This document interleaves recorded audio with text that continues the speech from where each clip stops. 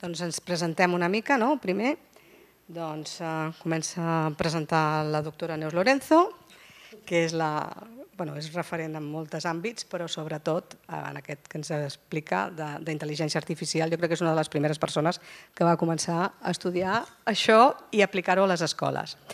A més, és la, la vicepresidenta de, de Ciutat Catalana de Pedagogia. Jo voldria també presentar el president, que ha tingut l'amabilitat de, de venir. No sé si vols dir alguna cosa, eh? venir a fer una mica a aprendre i també a... No, simplement, de veritat, és un plaer estar aquí, acompanyar-les. Eh, eh, aquesta és una de les activitats de la Societat Catalana de Pedagogia eh, fem formació, formació de, de, de professorat. Ho embarquem també dintre de lo que serien eh, els plans de formació eh, i llavors doncs, eh, va adreçat eh, als centres educatius. Eh, tot això es fonamenta eh, d'un treball que ja fa temps que nosaltres estem desenvolupant eh, i és hereu d'un altre treball que havíem desenvolupat de Fem Escola Plurilingüe i ara en aquest moment doncs, eh, té una altra mirada, té un altre, un altre pensament. Llavors eh, la satisfacció de que eh, durant uns quants dies, mesos possiblement de feina, culminen en aquesta tasca que ara en aquest moment anem a començar. Eh, jo no solament eh, vinc aquí eh, eh, perquè sóc el president, sinó que so, seré usuari del curs. Eh? Per tant, m'he apuntat, signaré, faré tots els deures que em maneu i eh, penso que disfrutaré molt, com crec que disfrutareu tots plegats, tots els que estareu aquí. Vinga, endavant. Doncs molt bé, parlem amb el micròfon perquè estem sent, ho hem gravat tot això i ens han dit que parlem, no? perquè ens agradi especialment. No? Aleshores, doncs, comencem no? amb la presentació quan, quan tu vulguis. Doncs gràcies. Eh, començo per aquest, si no li dono a l'altre. La veritat és que el curs d'avui, i ja una mica per mm, entrar en matèria, eh, comença, ja ho sabeu vosaltres, en totes les dificultats que representa començar amb un curs més dur i implicat en molts altres projectes a la vegada i moltes vegades amb la polseguera que tenen les pròpies escoles. Eh? Per això nosaltres havíem seleccionat aquesta fotografia inicial perquè anem a parlar d'intel·ligència artificial. Algú de vosaltres sé que vau ser en la xerrada inaugural que el Museu de la Ciència fa tres dies va fer per al seu curs d'inauguració precisament sobre intel·ligència artificial, gràcies per ser-hi, on vam poder també presentar algunes de les línies de treball que s'estaven fent, però sobretot on es posa de manifest que és un tema candent. I com es va dir allà, i com repeteixo bé, la intel·ligència artificial és molt ampla, i nosaltres parlarem dels usos a l'escola, que és molt més reduït, amb les eines gratuïtes i a l'abast, que encara és més reduït, i amb el propòsit educatiu que volem, que encara és més reduït, però molt més punyent. És per això que moltes vegades la, la imatge ens ajudarà, no? ja dius, on comencem a realitzar els nostres camins? Va? Tu pots demanar-li a intel·ligència a la, qualsevol d'aquells, eh? en la, jo què sé, en la eh, TriLip IA, eh? IA, que et faci una imatge, que et doni, eh, o el Midjourney, és igual, aquest encara ara ja fan pagar, però les que encara són gratuïtes, el Fotor, eh, que et busqui una imatge que indiqui un camí del ser humà però sense mostrar persones, que a més et digui que eh, hi hagi diversitat i que hi poden sortir moltíssimes idees. Qui escull la que realment significa allò que tu vols dir, ets tu. I això és una de les primeres coses que volem eh, transmetre. Tot el que farem són eines, estratègies, a vegades són petites activitats, són per posar de manifest que el protagonista ha de ser l'alumne i amb els riscos que comporta i amb les avantatges que comporta. I l'alumne pot ser un profe. Algú de vosaltres està donant classe a universitat, sé que hi ha gent que ho utilitzarà pel màster. Eh, el que és important veure és que si nosaltres sabem què volem fer amb allò i com la volem utilitzar, és una eina perfecta, estupenda, amb tots els riscos que representa tenir-la que entrenar, tenir-la que preparar, sobretot quan són aquests grans models lingüístics que s'han posat tant de moda a partir del GPT, de l'OpenAI, o del BART del Microsoft, o de, mira, l'Elon Musk que està corrent milles, no? també per la mateixa. Perquè la interpretació ve no només del que pot ser el sentiment personal, sinó del que sentim en, aquell, eh, en aquest específic moment pel tema, pel significat, per la memòria. Aquí hi havia una petita activitat. i és què significa aquesta imatge, no? què creieu que significa. Jo us diré més, què creieu que significa i com creieu que es pot demanar amb un, un lector textual perquè pugui treure una imatge no? d'un un dels programes d'intel·ligència artificial on tu li pots demanar imatges. Va, són pocs, ens entendrem molt bé, feu el favor, per tant, per parelles, que sou parells, dir què significa i com li demanaries, si ho heu sabut fer, després preguntarem qui sou i d'on veniu perquè tinguem més, més dades, com li demanaries perquè et sortís una imatge similar. Va, pots treballar amb ella, tu vols, Josep, et poses amb aquella noia que m'ha dit el seu nom i jo sóc terrible i no me'n recordo. Helena, et poses perfecte. Val? Sí, sí, vull sí. I si ve algú, te poses talum. Gràcies. Vale. Perfecte.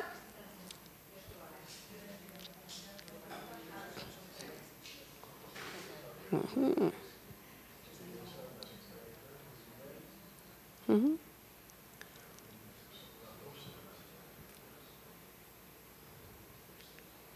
Sí?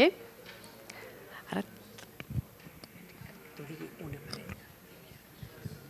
parella. Parella.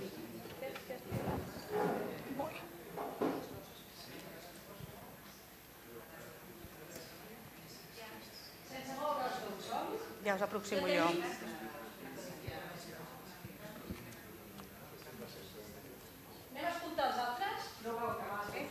Amb una ronda? A veure, vinga, vosaltres mateixos. Nosaltres hem pensat que serien les empremtes d'una criatura, les empremtes d'una criatura i a més que fossin representades amb, sense que es veiés els peuets del noi, però representada amb materials naturals. I sense, sense corporeitat. Sense corporeitat. Eh, exacte. No, ja està.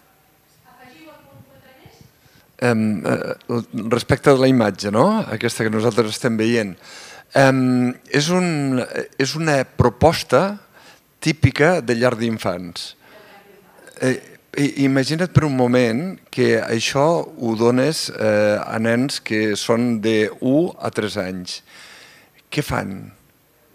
Increïble. Primer de tot, estèticament és, estèticament és preciós. És a dir, és, i, i unes pedres superben triades, no?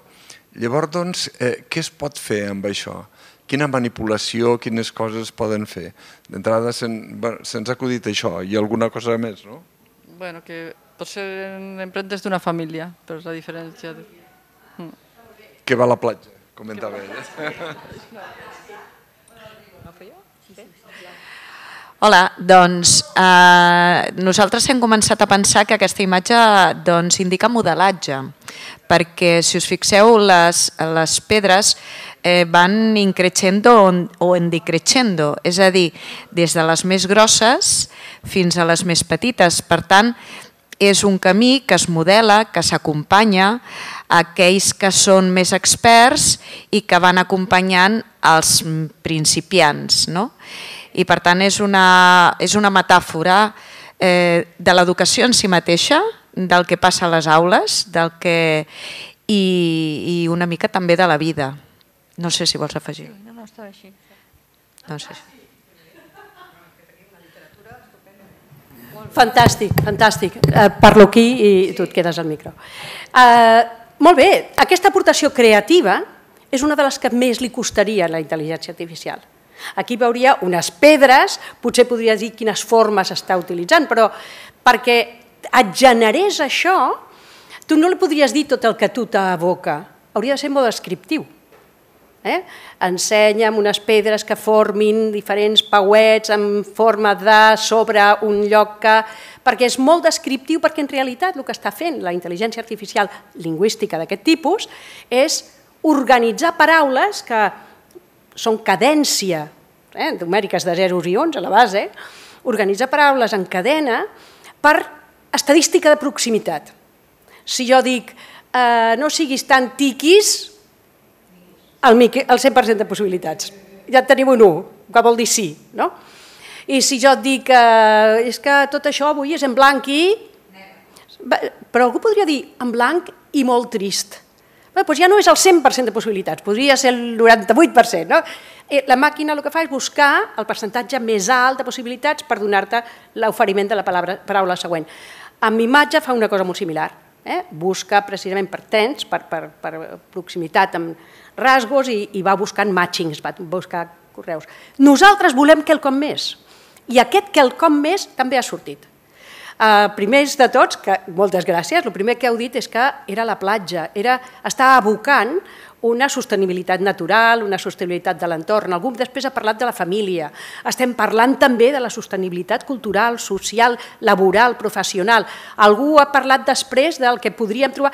El que estem construint és allò que realment és essencial en quant a les prioritats del ser humà. Els objectius de desenvolupament sostenible són un exemple no es vol dir que siguin els, realment els grans problemes del món, és com hem etiquetat els grans problemes del món i els han signat 193 països. Per tant, tant la intel·ligència artificial com el, els objectius de desenvolupament sostenible formen part d'aquest curs. Un aporta continguts, l'altre aporta les eines i les estratègies de treball. I en quin sentit ho anirem fent? Doncs ho anirem fent tant com hem fet aquest exercici. Aquest exercici està utilitzant les tres nivells de eh, el que seria la construcció cerebral. No? Primer, en el cervell més, eh, el que li diuen lizard brain, eh, en el cervell més, més eh, eh, immediat, podríem dir que hi ha un detonant d'una imatge curiosa. Una cosa que crea sorpresa, que emociona, que desperta, que motiva, aquesta seria el primer imprompte. Després us he dit que us poséssiu d'acord, que vol dir racionalitzar el procés del sentiment. Allò que m'ha agradat o no, ho he de verbalitzar, ho he d'explicar, ho he de seqüenciar, ho he d'argumentar, inclús podria haver de posar-me d'acord, tant si sí com no. Això ho fa el, el cervell del mig, el central. No? I després ho he d'explicar, que ho he d'explicar de manera que, que es comuniqui, que sigui atractiu, que m'entenguin que, que respecti el nivell formal o semiformal que estem en aquest moment. Això seria el còrtex, el control del còrtex. Això vol dir que aquesta seqüència que hem fet servir la utilitzarem durant tot el curs perquè els tres grans pilars del nostre curs són aquests. Continguts essencials que estan en el currículum però que els hem etiquetat com prioritats per la humanitat, i més igual si treballeu de les ciències socials o de la llengua des de l'anglès, eh?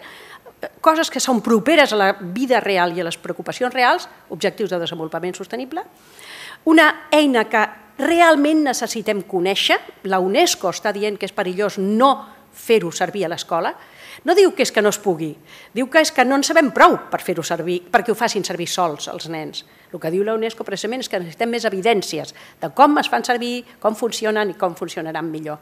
Per tant, la tecnologia, eh, en aquest cas intel·ligència artificial en diverses eines, i la tercera és precisament aquest sistema, aquest aproximament, aquesta metodologia del disseny universal d'aprenentatge que activa de diferents maneres, eh, de diferents maneres, activa la motivació, activa l'argumentació i la cognició i activa finalment la comunicació, l'intercanvi, aquesta idea de difusió de tots. Moltes gràcies per, per sumar-te. Eh, ara ens diràs el teu nom i ens presentarem, tot, ens presentarem tots, però si hi ha que fer alguna cosa en parella, ja tens parella aquí per avui. Per tant, acabeu de veure què és el que, el que farem, però ho farem amb intel·ligència artificial, precisament, no només amb una imatge fixa, sinó en coses que avui mateix ja començarem a fer tasques. Estem en una època d'alta volatilitat. Els anglesos li diuen buca, nosaltres li podem dir vica, eh? és allò d'incertesa, complexitat, ambigüetat. I, I realment és molt difícil que la gent es motivi a fer res res nou. Però hi ha coses que encara ens desperten la curiositat. Val la pena que hi pensem. Eh? És per això que, tenint en compte on som, nosaltres anirem deixant aquí doncs, part de teoria, part d'explicació, etc, que no teniu que saber de memòria, ni teniu que després utilitzar per res, però si mai us serveix, i sobretot aquells que teniu escoles i, xarxes d'escola, i ho voleu utilitzar, Fixeu-vos que la complexitat i l'ambigüetat és present i moltes vegades quan més complexitat, més volatilitat, eh, vull dir que també és més efímer tot, i tot això també comporta una incertesa i això realment angoixa. Eh? I tenim aquí uns estudis, sempre hi ha, a sota veureu sempre uns peu de pàgines on podeu clicar i està doncs, la imatge, el paper, el lloc on està. Eh? Som aquest context que ens diu també com podem superar aquestes incerteses, perquè creen frustració. I com podem superar-ho? Doncs treballant contra la utilitat, entenent què està passant, formant-nos amb això. La complexitat ens produeix un alt cansament i això també crea que nosaltres mateixos ens sentim vulnerables. Anem a aconseguir, tirant endavant, xarxes de suport, activitats concretes que ens facin més forts, més empoderats. El curs que tenim aquí, que és aquí, eh, és horari de tarda, només hi ha tres sessions presencials, ja les hem dit, si us plau guardeu-vos la data. Una és avui, l'altra és el 20 de febrer, que amb una mica de sort ho farem bueno, ho dic amb boca petita perquè encara ho sabem segur, a la Fundació Bofill, perquè farem diversos tallers simultanis, i després la tercera, que serà la de posta en comú del maig. És veritat que nosaltres també farem tres sessions virtuals al llarg del curs, precisament entre aquestes eh, sessions, i que donarem una data concreta, per exemple, les, la tercera toquen els, els, la segona toquen els algoritmes i l'explicació de com funciona, etc. Si algú no s'hi pot connectar no passa res, mirarem de tenir-la gravada, però ens podem tornar a connectar en algun moment que amb ell li funcioni, sobretot quan són pràctiques en centre, eh? quan ha de fer alguna cosa en centre. Teniu els calendaris, ja dic, les tres fixes són aquestes, les altres més o menys aquests són els mesos en què cauen, eh? novembre, el gener, etc. Les estratègies que treballarem en aquest Aplica Solucions són aquestes tres. Acabem de veure un petit exercici digital en el sentit que la imatge està digital, però res més, per treballar la intel·ligència artificial, veure com ho podem adaptar a l'aula a través d'aplicar el currículum eh, prioritari dels objectius de desenvolupament sostenible i quin tipus de treball utilitzarem per motivar o per organitzar l'alumnat. I això ja veieu que té certa connotació amb eh, doncs el disseny universal d'aprenentatge, els ODS, etc. Bon dia, bon dia. Les sessions aquestes, les deixo aquí, fixeu-vos que impliquen treballar el coneixement tecnològic, el coneixement disciplinar o curricular i el coneixement pedagògic. No està molt lluny del que tots vosaltres heu sentit com a tap, el TAPPAC, bueno, el, el mètode que tothom està fent servir actualment. Eh? També ho deixo aquí per si algú vol aprofundir i veure de què va. La idea és que aquestes activitats seran transversals, es poden adaptar a diferents, a diferents eh, etapes, assignatures, etc. Però sobretot ens interessa que cada vegada que fem una cosa d'aquestes tingueu present la mirada de quina o com hem fet servir l'eina, quina metodologia he fet servir per seqüenciar les activitats i quin és el contingut o la finalitat o el propòsit curricular, educatiu i, i vivencial que implica l'activitat. Perquè això també ho veureu a través dels currículums.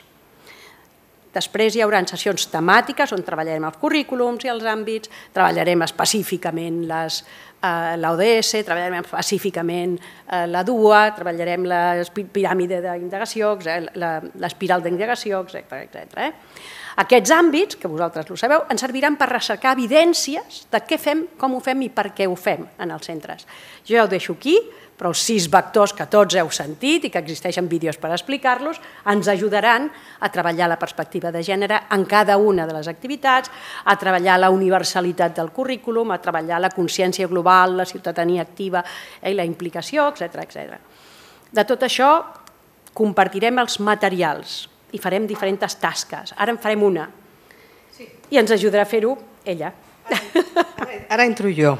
Eh, bé, jo em presento, jo sóc directora de l'Escola Espai 3, jo sóc la part pràctica, diguéssim, de, del projecte. Um, com veieu, eh, ens interessa molt que us emporteu, després de fer el curs, eh, idees per portar-les als vostres centres, els que sou docents i els que no sou docents, doncs també per aplicar-ho. Llavors, la intenció és que ho tinguem clar i que puguem accedir a fer-ho. No? Llavors, ara us demanarem ja una mica de treball i seria, eh, fem una prova, no? selecció d'un us poseu, si voleu, continuar en parelles, és la que som, sí, us voleu posar en parelles. Heu de pensar en un objectiu de desenvolupament sostenible, que és l'anterior, i en com aportar-ho això a, diguéssim, a la, a la al vostre centre o al vostre possible centre on estiguéssiu treballant.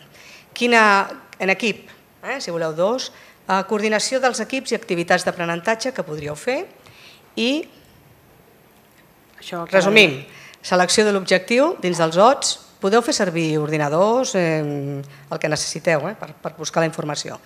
L'espai d'acció educativa solidària, manteneu el que vol dir això, com ho podem, a part de treballar aquell ODS, que estic segura que tots sabem i tots fem a les, als centres, Com podem fer-ho això amb un espai d'acció educativa del vostre entorn, de, de xarxes de centres, penseu en alguna cosa així. Com ho coordinaríeu aquesta coordinació d'equips i activitats d'aprenentatge i per, que seria implica i aplica. Veieu que sempre tota l'estona estem jugant què implica i què aplica. I l'aplicació del seguiment dels recursos, processos i resultats assolits. Una mica una pinzellada de, de, de lo que seria l'estructura d'aquest objectiu. No sé, eh, i per sí, fer-ho... Sí, no, i, per, que... i per fer-ho, exacte. només que com que la tecnologia... La sentiu, sí, no? Sí, sí. Eh, la tecnologia eh, existeix i està present a tot arreu, ja la tenim als mòbils, la tenim als ordinadors, la tenim al Google, etc. El que farem és activitats per fer-la visible. No? I és per això que, ara faig jo una, eh, jo us poso una per entendre una mica què és el que demanem, perquè són activitats que poden ser puntuals o poden ser molt amples, i llavors ho farem amb el telèfon mòbil i anirem a fer fotografies aquí fora i serà ella la que guiï l'altra. Què és el que farem? Imaginem que jo tinc, per exemple, mira, vull treballar des del punt de vista curricular l'art i des del punt de vista de, del que serien els objectius de desenvolupament sostenible, tal com estan les coses, la pau. Sabeu que és el número 16 L'objectiu de desenvolupament sostenible és el número 16. I últimament han arribat alumnes a l'escola dient escolta, que els pares diuen que hi ha guerra al Mediterrani, que Israel, que no sé què, eh, eh, comença la guerra mundial, que s'acabarà el món... Bueno, a veure, anem a parlar-ho. Llavors, per poder parlar sobre com hem de viure, conviure i aprendre precisament perquè això no s'ampli, no es reprodueixi i a les seves generacions no? siguin cada vegada més solidaris, nosaltres treballarem, la, en aquest cas, el Guernica Val?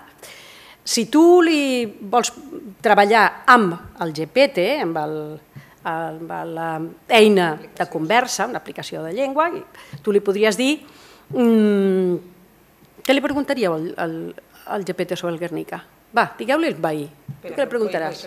Tu fas aquesta, espera, seguim l'altra, eh? Tu empalmes aquí, vale?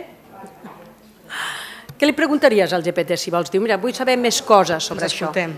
Què li preguntaríeu? Va. Jo li preguntaria què, si, què simbolitza cada un dels animals que hi ha, per exemple. Què simbolitza cada un dels animals? Molt bé. Tu què li preguntaries? Passa, passa allà. Bueno, jo li preguntaria, espera, que també sí. tinc una pregunta aquí. Per què utilitza el blanc i el negre? Per què només blanc i negre? Vale, molt bé. Jo li preguntaria per quin motiu va fer aquest quadre? Per què va fer aquest quadre? Sí? Jo li preguntaria uh, eh, per què la distribució i la cruel... Bueno, per què sembla cruel aquest, aquest eh, quadre? Per què sembla cruel? Molt bé. Cadascú de vosaltres... Ves, fer, aneu fent la pregunta. Cadascú de vosaltres en fa una de diferent, eh? Sí, sí. Fixeu-vos des del punt de vista de personalització, el detonant d'aquesta classe és diferent per cadascú. Uh -huh. I la màquina li contesta el que li contesta. Però... Jo li preguntaria sobre si podria ficar en moviment aquestes imatges. Uh -huh. Jo li preguntaria per què està a Madrid.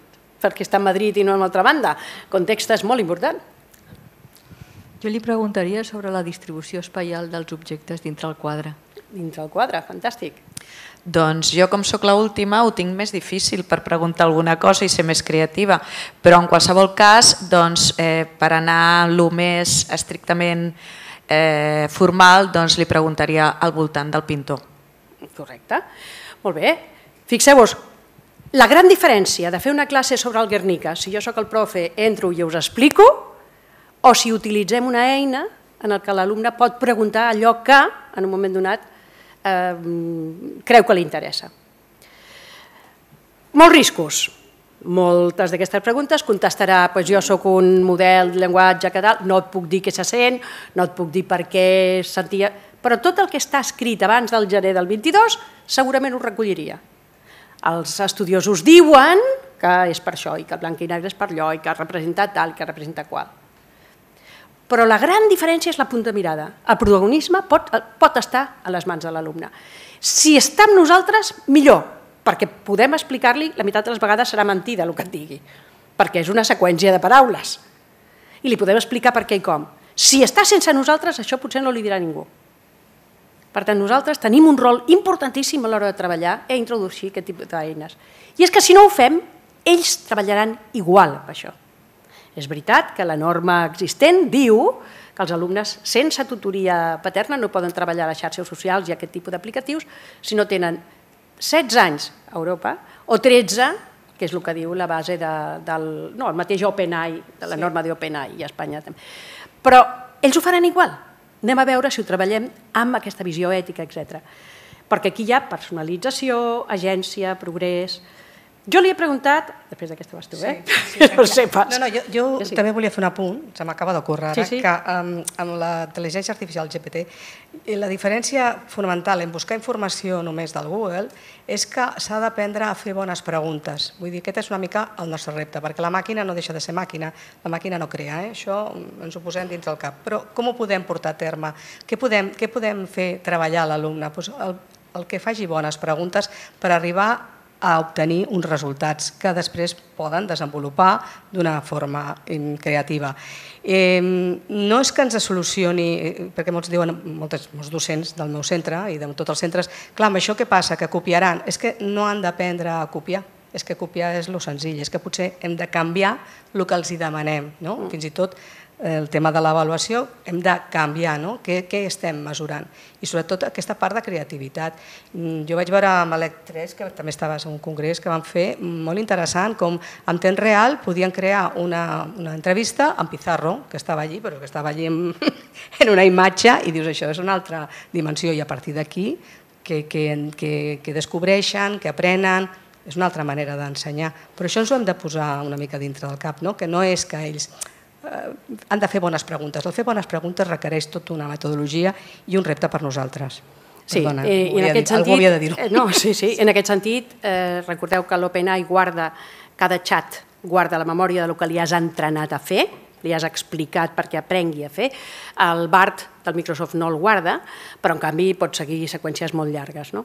I en aquest sentit, tot el que nosaltres entrenem també és important que ho recolliu, i això és una de les coses que en les tasques del curs incorporarem.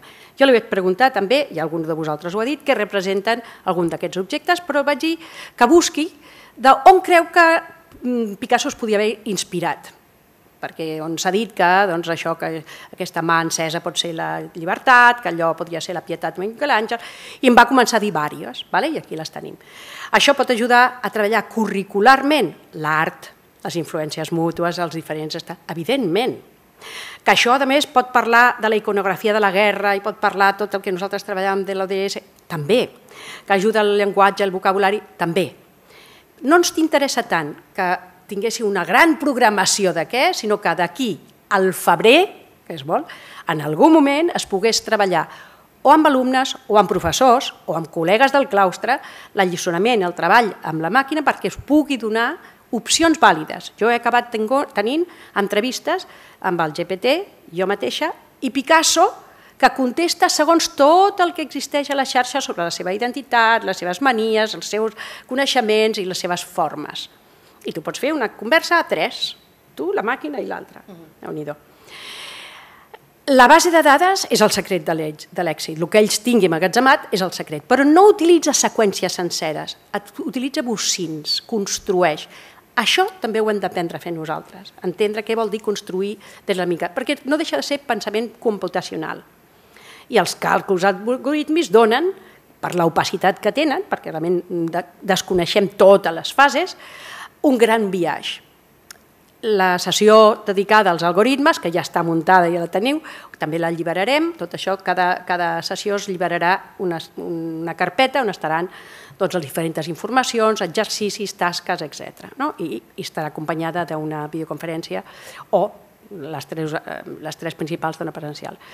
Jo, per exemple, li vaig dir a la màquina que jo veia un pessebre aquí, i ella em va dir, ostres, doncs mira, no tinc ningú que amb els meus eh, arxius digui que això hi ha un pessebre. Jo dic, doncs jo ho veig claríssim, el rei, la rei el, els, eh, tu dius els animals, el bou, la mula, el, jo aquí ho veia tot. I diu, és veritat, perquè hi ha tres més que poden ser els tres reis mags. Jo dic, no, que són dones. Ui, que original! Està bé, és que siguin dones aquests tres reis mags. I ell seguia amb el seu, no? Eh, bueno, la màquina segueix amb el seu. Um, si tu això ho utilitzes per seguir davant, doncs perfecte, ell va acabar insistint, com que no hi ha ningú, per què no escrius un article? Jo dic, vale, ja ho faré, però és que a mi em fa molta mandra, comença, es va posar escriure l'article i es va posar com a autor, autor, xat GPT, com a, posa el teu nom. Eh? I tu posa... Es tracta de veure fins a on pot arribar la màquina i a la persona quan s'utilitza amb un propòsit que en aquest cas serà eh, personal i, i, i és aquest, eh? Ah, sí. Passa que no sé si parlar amb aquest o amb aquest, m'han dit que parli. Tiro enrere, començo el dibuixet. Ara tenim una tasca que ja és hands-on. Aquest ja, aquest tots sí. teniu a la butxaca. Sí, un mòbil. Un mòbil. Doncs ara comencem, val? Llavors es tractaria que anéssiu fora i penséssiu en un tema de treball del que esteu donant, del, del vostre dia a dia, eh, formes, matèries, eh, primeres, processos de producció, història, el que vulgueu. Um, que hi hagués un procés, aquí treballarem procés d'acció-reflexió, d'observació, classificació i generalització, hauria d'haver-hi. La tasca és que aneu a fer una fotografia que sigui significativa per aquest tema, amb un, teba, amb un detall rellevant. Per un detall, eh? Sí, no foto abans, claustro. no sé si hi ha, a la següent me sembla que es veu Sí. el que vol dir un, Un detall, exemple. per exemple, és aquest l'exemple, no? Associat a un sí. ODS. Eh? Si, Bueno, si podeu pensar en un ODS encara millor, Millor. vull dir que Eh, no però- penseu en el, en el contingut puro i duro, no? sinó penseu més enllà, amb ODS. Llavors, um, per parelles, una vegada fet la foto, per parelles heu d'argumentar, perquè podeu argumentar, o sigui, podeu parlar-vos allí i després podria posar la posta en comú. Ho dic perquè és agradable també treballar fora. Eh, per què és rellevant en el món actual? Una pregunta important. I escriviu la justificació, una o dues línies, no? Aquí l'exemple seria aquesta imatge que ens mostra diverses primeres matèries i és rellevant per la sostenibilitat, perquè, bueno, perquè és important buscar altres fonts de, de subministrament, etc etc. És una metodologia experimental senzilla, cercar la teva fotografia anterior, Ah, Llavors ja posem un cercador d'IA, un xat, podeu fer el Google Image, eh? busqueu amb aquest, que tots, tots hem buscat imatges pel Google, podeu buscar-les directament, captureu la pantalla de resultats, valoreu el grau d'èxit i comentar-lo en el vostre grup, a la vostra parella, que després ho comentarem tots. Experimentem, comparem i reflexionem què és la intel·ligència artificial i com funciona, perquè intel·ligència artificial és tan senzill com això que estem en la primera fase. Val? Ho- Ens posem? Sí. Veieu? Doncs vinga, va, anem, Una anem foto. Fora. Foto. parella, explicar per què les selecciones, què té d'important, què, què pot servir de, didàcticament, cerqueu-la al Google Image, feu captura de pantalla dels resultats que us doni i valorem-ho. Sí? Ja tenim deures. Ara heu de fer el següent. Passo la filming? No. Vale. Sí. Atenció.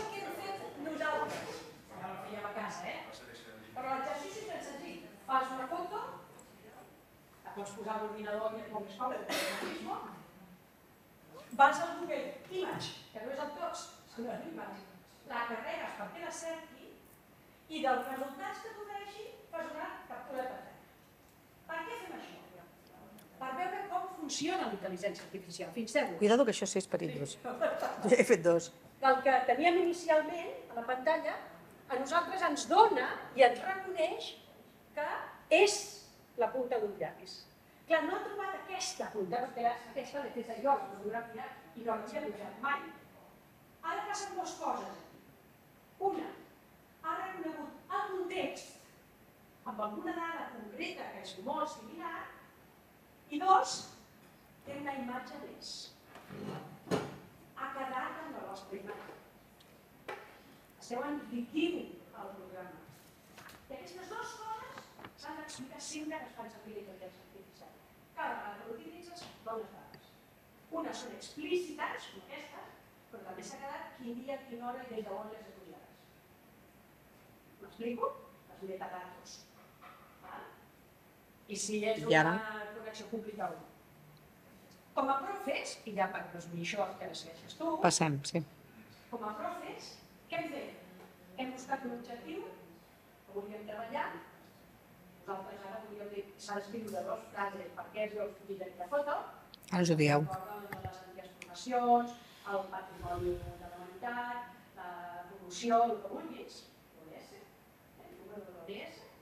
Dos, quina imatge has fet i quin procés tècnic has fet servir, eh, cercar, desarimes, des, tal, tal. I tres, consideracions dels resultats. No me n'ha saltat ni una, sí que has encertat la cua de llapis surt quan el meu no l'ha trobat. I final, ei, jo també li he deixat una que identifica amb aquests. Queda aquí. Si fos cua de qualsevol altra cosa, estaria enganyant cada dia no el, mateixa, el mateix paquet fins que aprengui que no és el mateix paquet. Sí? Així funciona. Igual imatges que per textos. Després l'algoritme d'això farem les seqüenciacions. Eh? Però senzillament per veure que això ho pot fer un nen, de fet ho està fent, sense guiar. Que això és el fumut, no? I això ja, com a profes, ens ha de fer pensar una mica, no? Els riscos i... Sí, seu, seu. Sí, sí, sí. Bueno, ara seguiríem en aquesta part, que és el que us ha explicat ella, les imatges, i ara seguiríem amb una metodologia experimental senzilla.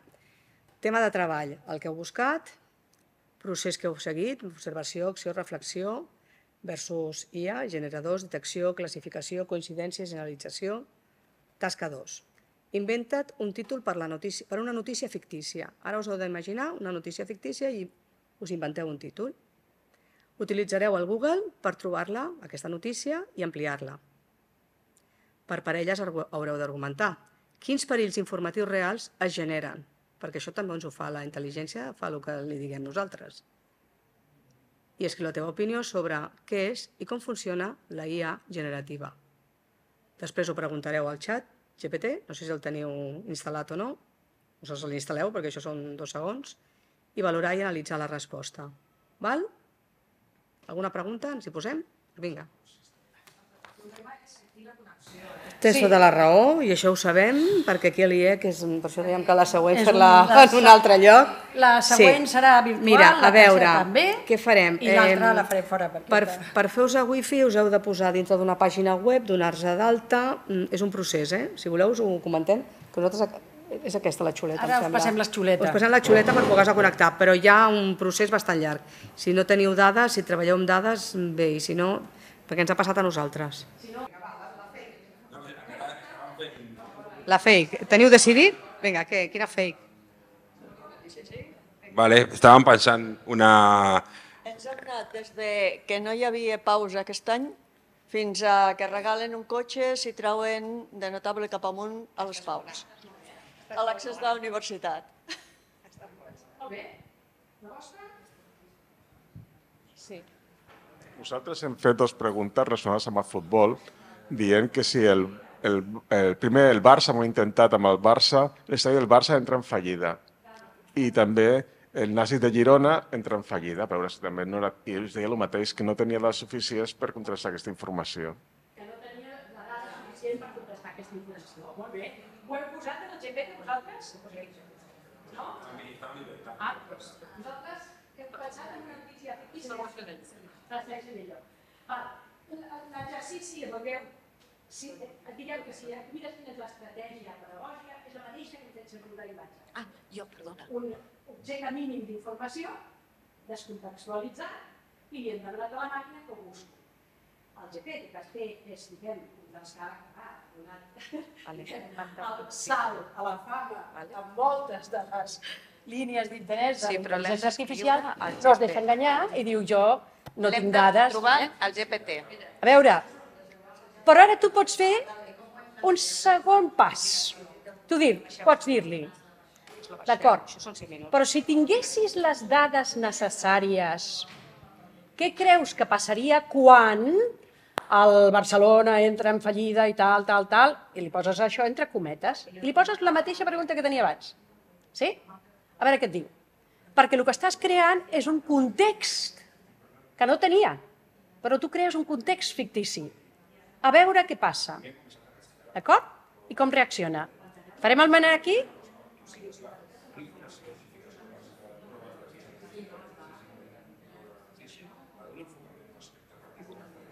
Què, fa, què, fa, què fa en el vostre cas? Digues que no et sento. Què fa en el teu cas? Vol més informació. Ell ja està entrenat per preguntar-te, ei, i això d'on ho has tret? I això com ho tens? Ja, ja t'està guiant, val?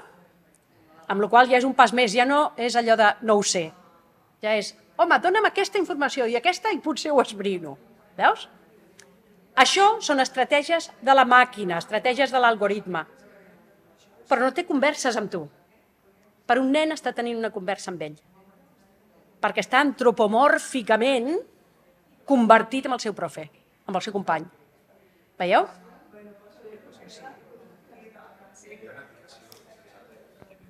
Voleu compartir una mica el que us diu la, el, xat, el xat GPT de lo que heu fet? Vinga, som-hi. És, és curiós, eh? És un món. Quan, quan li hem preguntat justament què passaria si el Futbol Club Barcelona caigués en, en fallida, diu impacte en el club. El Futbol Club Barcelona podria enfrontar dificultats financeres addicionals. Bueno, diu moltes coses, eh? vaig resumint una mica. Partits y eventos. Diu, "Lo- los partidos de fútbol y otros eventos programados en el estadio podrían verse interrumpidos o cancelados. Presión sobre los activos. La quiebra, la quiebra del estadio podría poner en peligro la propiedad y los activos asociados con el Camp Nou. Cambios en la gestión. Los problemas financieros del estadio podrían llevar a cambios en la alta dirección del Fútbol Club. O sigui, em dona totes les possibilitats. Dona tots els camps Sí, sí, en els que tu podries interessar-te. Si fossis un periodista, això et serviria? Home, clar, perquè em dona, em dona un començar a buscar. Clar. No és que sigui creatiu, és que sistemàticament, allò que deia la classificació d'informació, sistemàticament està utilitzant els contextes que té. A més, que ho faci immediat, no has de consultar un expert. Perdona? El Que no has de consultar un expert ni preguntar-li a ningú, és el moment.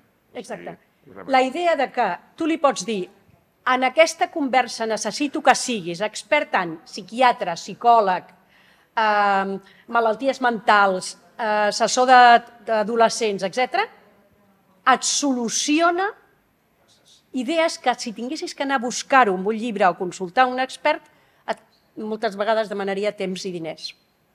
Aquí està tot compilat, és útil. Ara bé, són cadenes de paraules, no et garantitzen ni la veracitat ni la utilitat.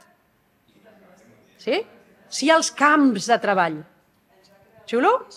Interessat o no? Us ha creat la notícia, el mateix que aquell llegit. A veure, la vostra. A veure, què diu? Espera, espera. Espera, espera. Espera, és que parla en castellà, em sembla, que encara no parla català, eh? El meu parla en català. Si li, si li parles en català, et contesta en català i en anglès. Cap He començat problema. en castellà, no sé per què, després he seguit en català i ja m'ha contestat, ja la conversa és en castellà. I diu, Digue-li que no, digue-li, escolta, jo vull que parlis català amb mi. I aprèn i parla català amb tu. No, no, i li, els alumnes han de saber això. I han de reivindicar. Cada vegada que nosaltres reclamem el català, queda una reclamació més a la base de dades. vale, Va, ahora lo faré. Eh, títol, Premio extraordinario en las PAO a un, un automóvil a la mejor nota. En un giro inesperado, este año se ha anunciado un emocionante incentivo para los estudiantes que se preparan para las pruebas de acceso a la universidad. La noticia ha causado sensación en la comunidad estudiantil que regalará un automóvil al estudiante que logre la mejor nota en estas trascendentes pruebas. Y sigue, y sigue, y sigue, sigue. Clar. Y es, es muy i bueno. s'ha inventat una notícia. Però és mentida. Sí. Ara el pego.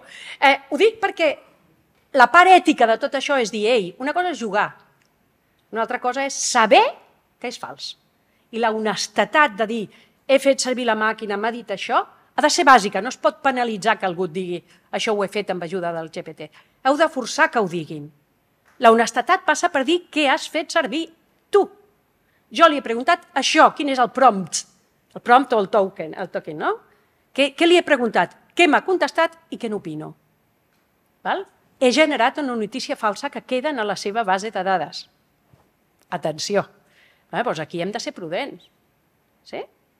Tot això té corresponsabilitat. A la llarga, molt possiblement, com que voldrem que les bases de dades siguin sanes, saludables, fiables i verídiques, jo no sé si estarà castigat mentir el xat GPT, explico?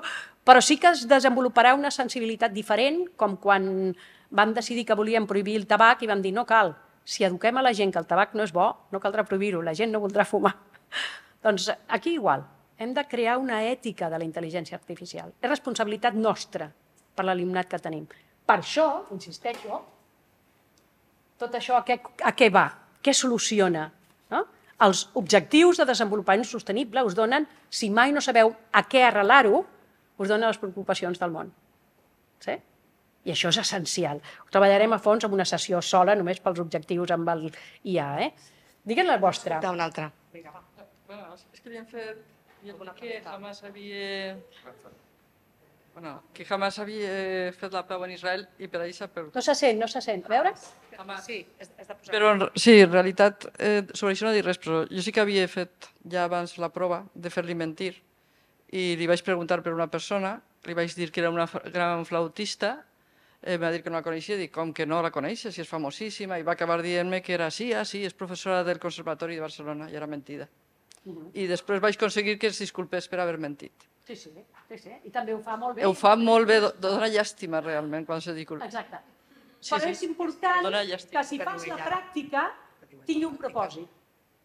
Ensenyar a l'alumnat que això pot passar. Ensenyar als companys professors que això pot passar. I les conseqüències que, que té desinformar d'aquesta manera.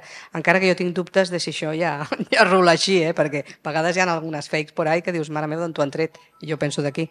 Voleu compartir alguna cosa que he buscat al xat i us ha dit que sí o que... De fake, sí. De fet, li hem posat una fake news que era que el transport de Barcelona, el transport mm, serà gratuït a partir de l'1 de gener del 2024.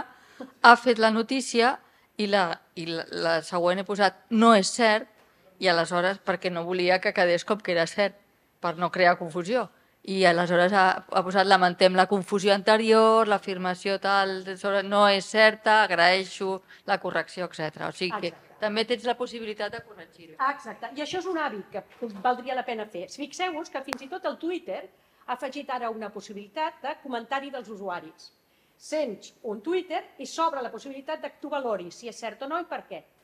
Si és que no dona dades, si és que és una afirmació gratuïta, si és que ell menteix descaradament. I tu, quan veus una d'aquestes afirmacions que pot ser dual, t'apareix a sota la possibilitat de, cal, de veure la, els comentaris de la, de la comunitat, eh, dels usuaris.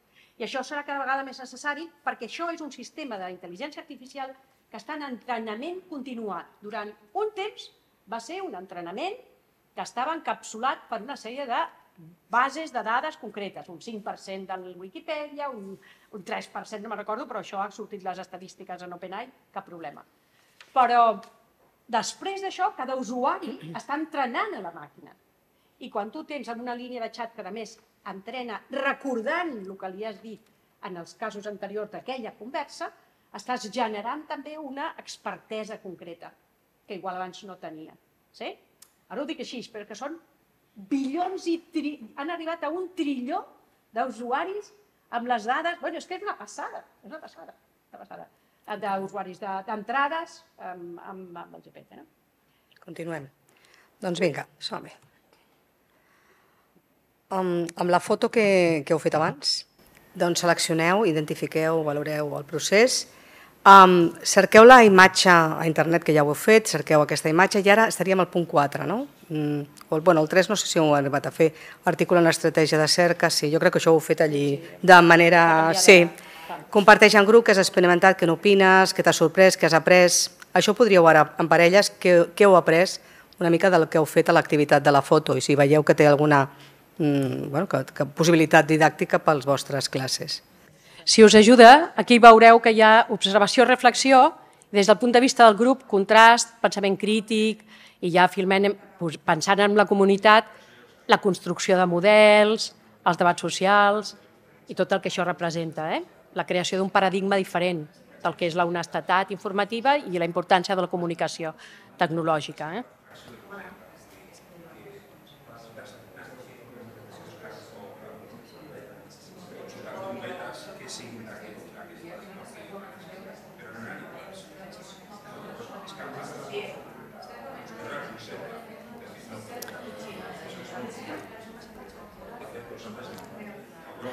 Els que encara no ho han fet, a part de què t'ha sorprès, què has après, la, la pregunta base és què evitaràs o què afegiràs a les tasques que es fas ara a l'escola, si tires endavant la intel·ligència artificial en algun moment donat, precisament per entrar en aquest altre món. Eh?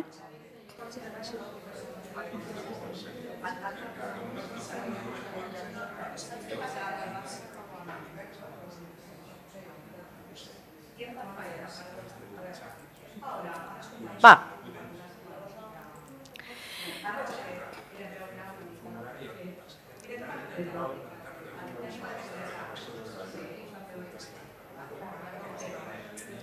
No sabia tirar enrere i n'he pres avui.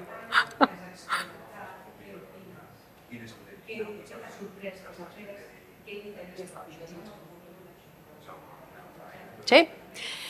Bé, només només per, per arrodonir, ara sí, la tasca. Pilar, companyia. Pili. Francesc, és Francesc, m'ha dit, que era? Algú se'n recorda? No, Francesc eres tu. Dos nois que tenim i m'equivoco de noi. Pilar Casals, gràcies, companys. Sí, a veure, tirem endavant. A veure, heu vist, les sessions d'avui requeria un exercici mínim fàcil amb lo gratis que tens a la butxaca imatge d'imatge i un bàsic mínim eh, bueno, amb un lector de, de, textual. No? El que sí que ens interessa és seguir endavant, més que res perquè us direm com està presentat el curs a partir d'ara i tots els materials que podeu tenir de la sessió d'avui. Per exemple, aquestes dues tasques estan redactades, preparades, perquè les pugueu posar al claustre, a altres centres, tots els que sou referents de centre, o adaptar-les a un nivell o altre. Eh? Què és el que farem també? Ampliar. Si vas a buscar les tasques amb l'aplica, tu pots dir, per exemple, obres el xat TP, busques alguna cosa diferent, hi ha un tutorial com obrir-lo, com donar-te d'alta, etc en aquesta adreça. Tot això està posat en la tasca del curs. Eh? Es recupera un escrit justificatiu amb dos o tres línies que has fet, com ho has fet, etc. Ja, ja us vaig deixant. Demana-li que et faci el corrector lingüístic, que et faci una ampliació del llenguatge acadèmic, que li posi vocabulari específic del currículum, una traducció en un altre idioma, en anglès, en francès... En... Això també ens dona quins altres eh, àmbits de treball té el GPT. Hi ha molta gent que només el fa servir per traduir, tampoc. Val molt més que això, eh? però sí que és bo veure-ho. No? Dóna-li un rol d'expert i digue-li, a partir d'ara és expert en el Futbol Club Barcelona i en les seves finances, estàs a la guai de tots els secrets de la Junta de l'època i vas posant noms, digue-li que és un psiquiatre, que és un, empresa, un empre, empresari, que és un professor, que sigui, i demana-li que faci una llista de tres fortaleses, tres talents, sensibilitats, del que sigui del text que tu has preparat. Jo aquí us he posat un exemple perquè és per agafar rols. És una de les eines més potents que té en aquest sentit per nosaltres, perquè pots simplificar tasques per a alumnes dislèxics vull que siguis un expert en dislèxia vull que em preparis aquesta tasca per un nen que inverteix les L's, les R's, té problemes del que sigui.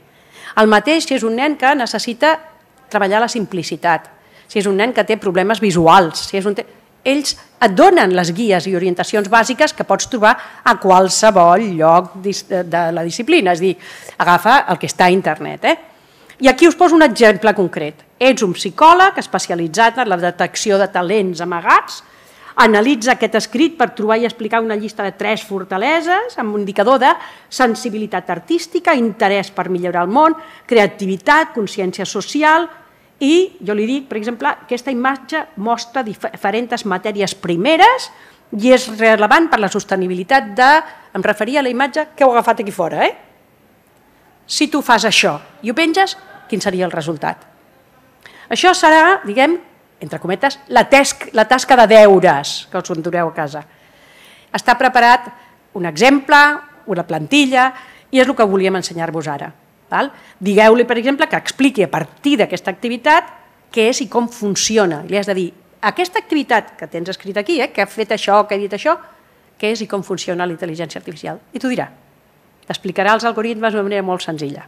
Val? Eh, pots explicar-me pas a pas com és i com funciona, d'acord amb la resposta anterior? I tot això queda integrat. Jo només us volia dir que hi ha activitats, que les veureu ara, dintre d'una carpeta a la que tindreu accés immediatament.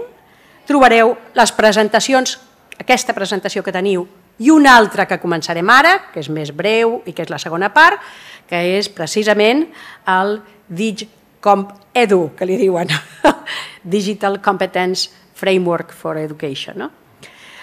Eh, després de les presentacions tindríeu una carpeta que diu tasques i veureu aquestes dues tasques explicades, la de la imatge i la del GPT, amb l'ampliació pertinent, això mateix que us acabo de dir, eh?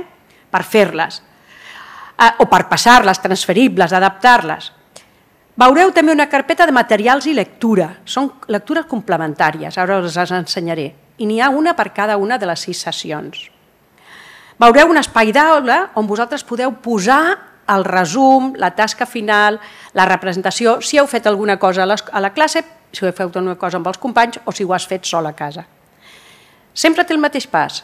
Busca una informació mínima, amplia-la d'alguna manera, però que tingui sentit, que després puguis treure una reflexió sobre qualsevol dels objectius de desenvolupament sostenible o dels vectors d'educació, equitat de gènere, no? necessitat d'universalització dels, dels currículums, elements imprescindibles per les, eh, la eh, ciutadania i el pensament global, etc. No oblideu que fer les tasques d'aquesta sessió és important perquè podeu consolidar molts de vosaltres, els dos de tecnologia, segur que esteu quilòmetres anys llum. Però jo crec que la part aquesta d'inserció curricular també és bona. Ens ajuda una mica a pensar què és el que realment estem fent eh? i per què importa. La creació d'imatges, com per exemple la eina del LIB, si no el coneixeu, aneu-lo fer. Jo us en deixo allà 7 o 8 entorns on podeu fer aquestes activitats. Jo vaig agafar aquestes i vaig dir ensenya'm una aula de l'ESO on els alumnes estiguin preparats, contents de començar i que vulguin fer una pregunta al professorat. I es veu una aula doncs, moderna, una noia guapíssima i tal, darrere tots una mica desdibuixats perquè ens vegin, està a punt de preguntar. I dic, no, però clar, es veu que és americana. Dic, va, no. La mateixa frase, eh?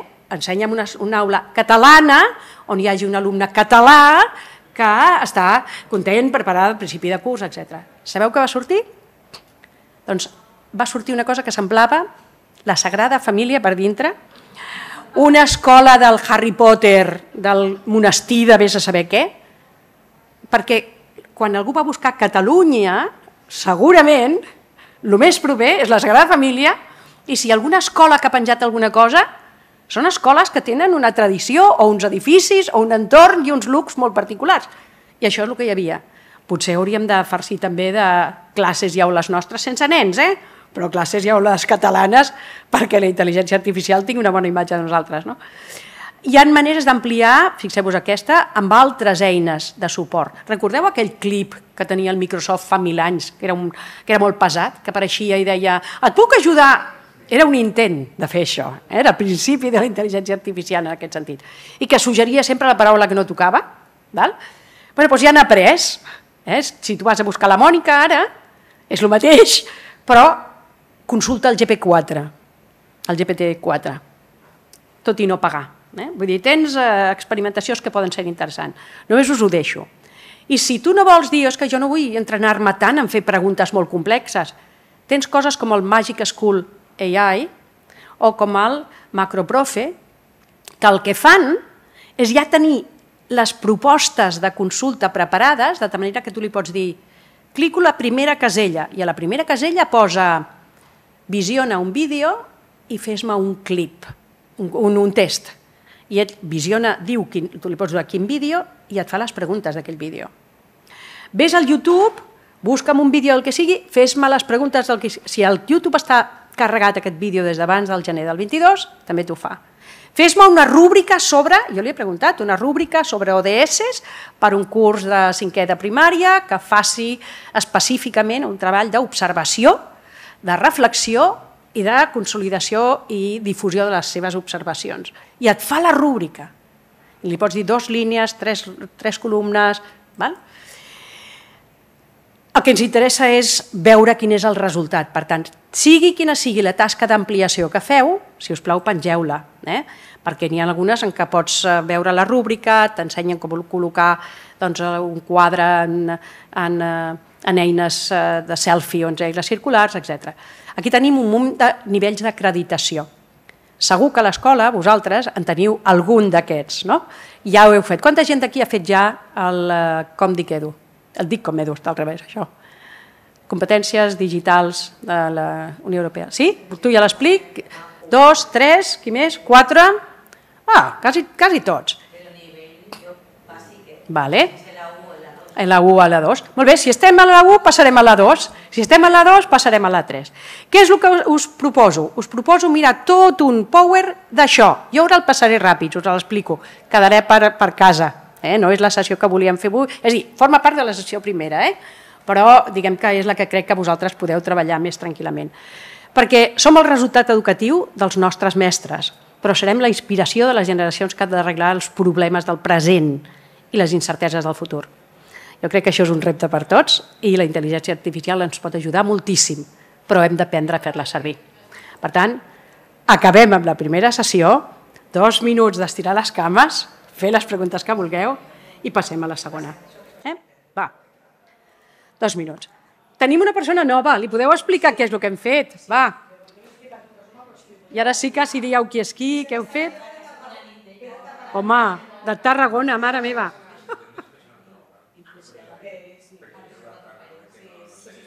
Ah, tornem a... Pues va, ara ens presentem una altra vegada. Començar. Pilar, vols presentar-te i començar? Micro, tens un micro?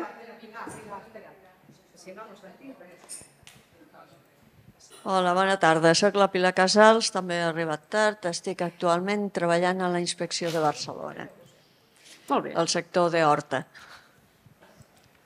Juan Antonio Chávez, eh, ara sóc professor eh, d'FP i cap d'estudis d'FP a Molins de Rei. Jo sóc Isabel de la Fuente i sóc directora de l'Institut Leonardo da Vinci de Sant Cugat del Vallès. Hola, yo soy Francis Isabel Jodra, soy profesor de teología aquí a Barcelona. Aquest noi no sé qui és. M'has dit Josep. un lloc? M'he perdut? Sí. Josep Serentill, el president de la Societat Catalana de Pedagogia. Eh, Jo sóc Marisa Babiloni, sóc professora de filosofia en l'Institut Vallès. Jo sóc Helena Ferreiro, sóc orientadora i actualment estic treballant en Comissió de Serveis a la Subdirecció General d'Innovació i Formació. Jo sóc Francesca Borriel, estic en aquests moments treballant a la Inspecció d'Educació de Barcelona, a les Corts. La meva presentació és més senzilla.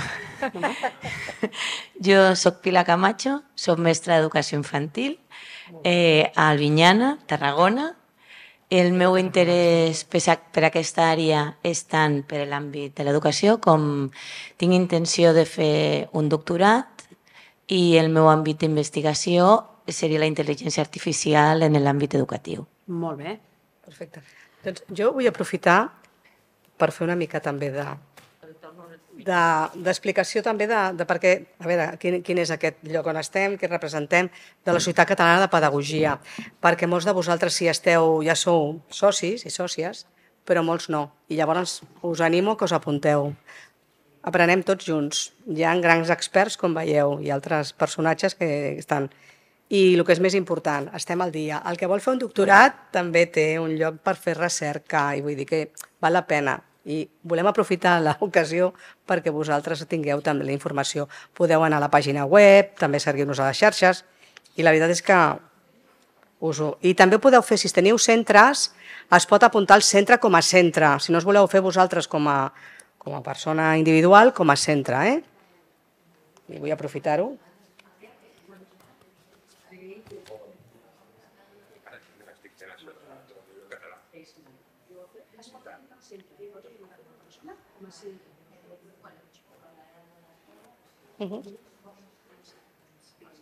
I si voleu fer difusió per les vostres zones, doncs perfecte. Val. És que ho havia de dir també, no? Perquè si no, no ens coneixen. No ens coneixen i fem coses que estan molt bé, des de presentacions de llibres... Bueno, és el món de la pedagogia en tots els àmbits. I donem suport als TFMs, TFGs, doctorats. Doctorats, exacte. Mireu, el curs de formació, només perquè el veieu, eh, té una sèrie de sessions, cada una d'elles està aquí, estem a la primera, cada sessió trobareu una carpeta que hem dit abans a les presentacions, hem vist la primera i ja veurem la segona. Eh? A més, trobareu tasques fetes, en aquest cas són tasques que les teniu aquí, d'aula i de centre. Ja veureu, la d'aula és la que hem vi- vist amb la imatge. Eh? La de centre és per utilitzar el GPT en diferents maneres. I després n'hi ha d'aprofitament. Aquest espai és perquè vosaltres pengeu la vostra tasca. Aquí. No, no tenim odissea, per entendre'ns. Vale. Ho penjareu aquí. Aquí. Quina tasca? Doncs la que hagis fet. I, i ben senzill. Us posarem una plantilla perquè quedi... La, la farem aquesta tarda, eh? Perquè és quina tasca has fet pas a pas, sempre amb el mateix. Què tens com a finalitat? Què voldràs treballar des del punt de vista o curricular o des dels propòsits eh? dels ODS, etc. Pas a pas, com ho has fet servir? Buscant aquella idea del detonant, l'argumentació i la, i la difusió el compartir, eh? els objectius de, el, el, el disseny universal d'aprenentatge. I després, la vostra valoració, riscos, oportunitats i pensaments que vulgueu afegir i compartir. Cadascú la penja aquí. És un full, no hi ha més. Si feu la foto, doncs la poseu allà. Si ho heu fet amb el GPT, feu una captura de pantalla. És senzillament una mostra, eh? una evidència que ens demanen de que s'ha fet. Mm? Teniu tot el mes per fer-ho, però nosaltres ho anirem recordant que això existeix. Ara, més de les tasques, tant les, les que estan ja fetes com les que vosaltres heu de preparar, en el mateix curs trobareu una carpeta de recursos. Tots aquests recursos, alguns els coneixeu, d'altres no, en cada una de les sessions seran temàtics, per dir així, d'aquesta sessió. Aquí què trobareu? Doncs trobareu el eh, marc eh, europeu del, del DIG com eh, la competència digital, trobareu el marc de referència català, algun article que l'ha comentat, les sis àmbits i com es treballen, etc. Trobareu el selfie, el material per utilitzar-lo, si no ho heu utilitzat, doncs ho podeu veure. I trobareu lectures o maneres de treballar a l'aula o en el centre, en Canvas, per exemple, el que va fer el Fernando Trujillo. És a dir, sí. a cada una d'elles hi trobareu materials. No ho heu de fer tot. Està basat en el disseny universal d'aprenentatge. És una oferta ampla, escolliu allò que més us interessa. Resulta que jo vull treballar des del punt de vista de l'estadística, els algoritmes de batxillerat, demana-ho i ho afegirem. És a dir, afegirem i buscarem també tot allò que creieu necessari. Moltes coses que trobareu aquí són de la UNESCO. Quasi totes les traiem de la UNESCO. Veureu que també traiem coses de la... Del departament, també, veieu aquí. Departament, de tot el que és eh, la Unió Europea, eh? ja sigui des de l'OCE fins a coses que són pròpies de la Unió Europea perquè són els acords dels ministeris cap problema. Després hi haurà un espai d'aula on ara per ara només hem posat una plantilla, una plantilla perquè si vosaltres voleu utilitzar, sobretot els que feu formació, eh, alguna de les coses que hem fet o voleu utilitzar eh, alguna de les activitats, podeu utilitzar-ho amb els claustres. Amb els claustres estaria bé també, o l'equip docent, o Si sou de l'equip de direcció fantàstic, sou d'equip docents fantàstic, si no, perquè els propis alumnes ho facin. Ens interessa veure-les, si després que considereu doncs, que les voleu compartir, les poseu a la carpeta eh, d'aula, de tasques d'aula. I després trobareu també eh, elements eh, complementaris. A vegades són normatives que van sortint. Tot el que vagi sortint específicament normativa ho anirem col·locant aquí. Eh? Però poden ser també coses que han sortit doncs, com a mostres de referència o coses que són exemples que el departament ha recollit i que està difonent o fer-ne difusió. Ho dic perquè rebreu una invitació en el vostre correu que teniu en la llista de la inscripció, on heu firmat, d'accés a aquesta primera carpeta. Poc abans de que toqui la segona sessió, que és una per mes, ja ho teniu eh, el febrer, el, el, el, el novembre, el novembre, podreu accedir a la següent sessió. També trobareu la presentació, bueno, també hi ha dues presentacions aquí, a veure si s'obre o no s'obre. Sí, sí, sí que s'obrirà. Ah, sí.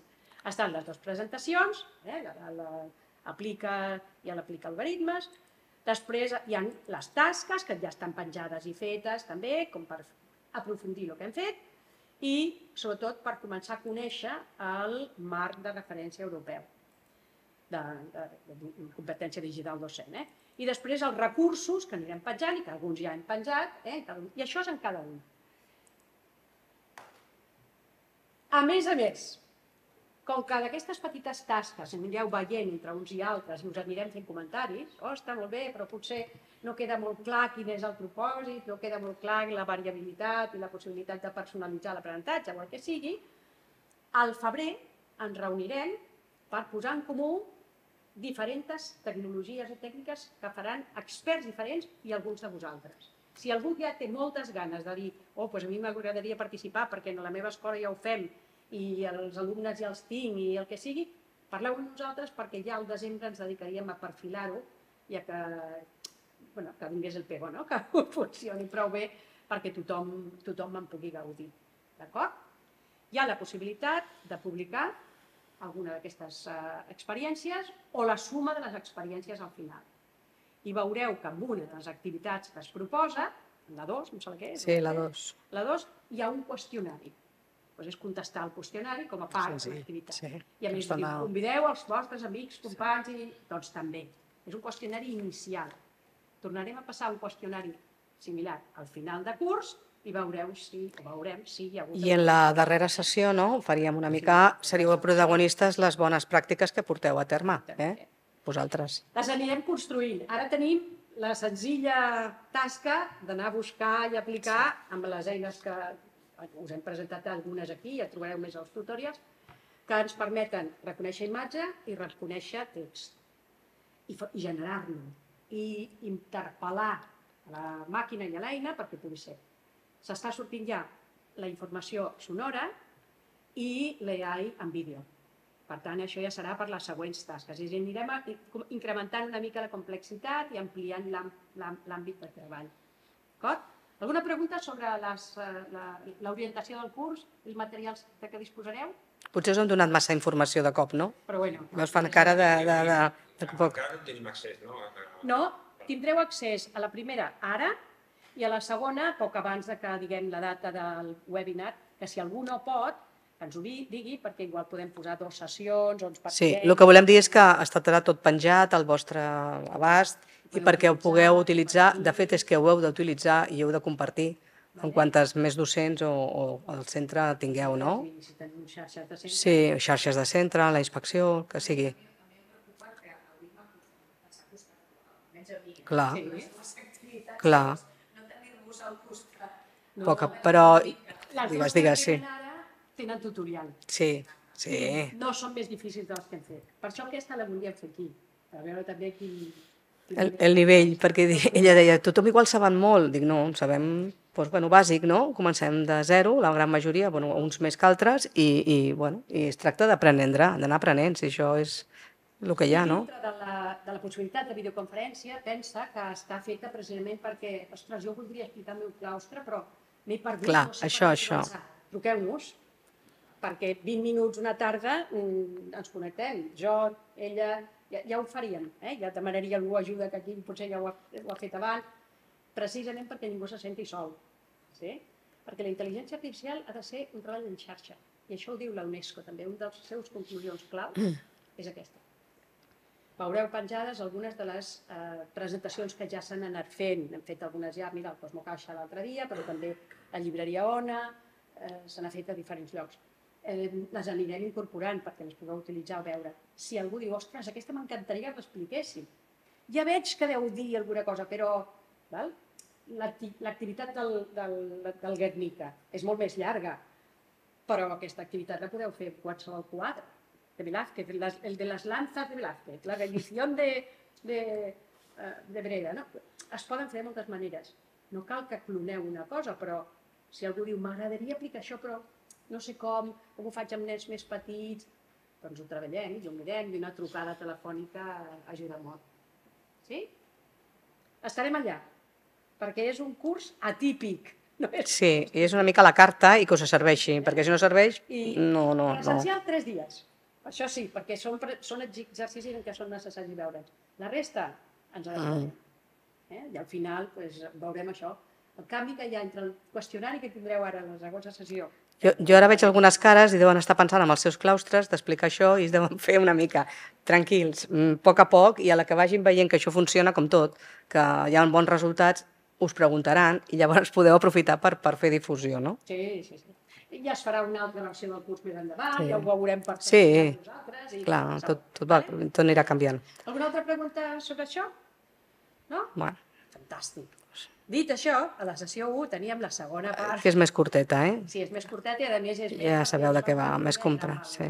Això ara és aquí, oi? Sí, Amb el centre de recursos, que dintre de l'orientació que fèiem de parlar dels nous instruments digital, digitals per a la intel·ligència artificial, ho emmarcaríem dintre del um, Sis. Digital Com És- sí. Competence uh, for Education, no? for Educators. És el marc europeu de competència digital docent. que això us sona a tots, a tots perquè hem fet l'estratègia digital, sí o sí, eh que sí? Veus? Per altra banda, si no, us sona el marc europeu de referència de les llengües i sabeu que Cambridge va posar una sèrie de nivells segons el domini eh, de vocabulari, de gramàtica i de complexitat comunicativa oral i escrita, lectora i, i, i d'audició, o de comprensió, eh, en A1, B1, eh, A1, A2, B1, B2, B2 i les és TU i 2. exactament el mateix. Sabent que aquests nivells estan alineats una mica amb PISA, amb els sis nivells de PISA, que són en realitat tres grans àmbits, tres grans blocs de dificultat.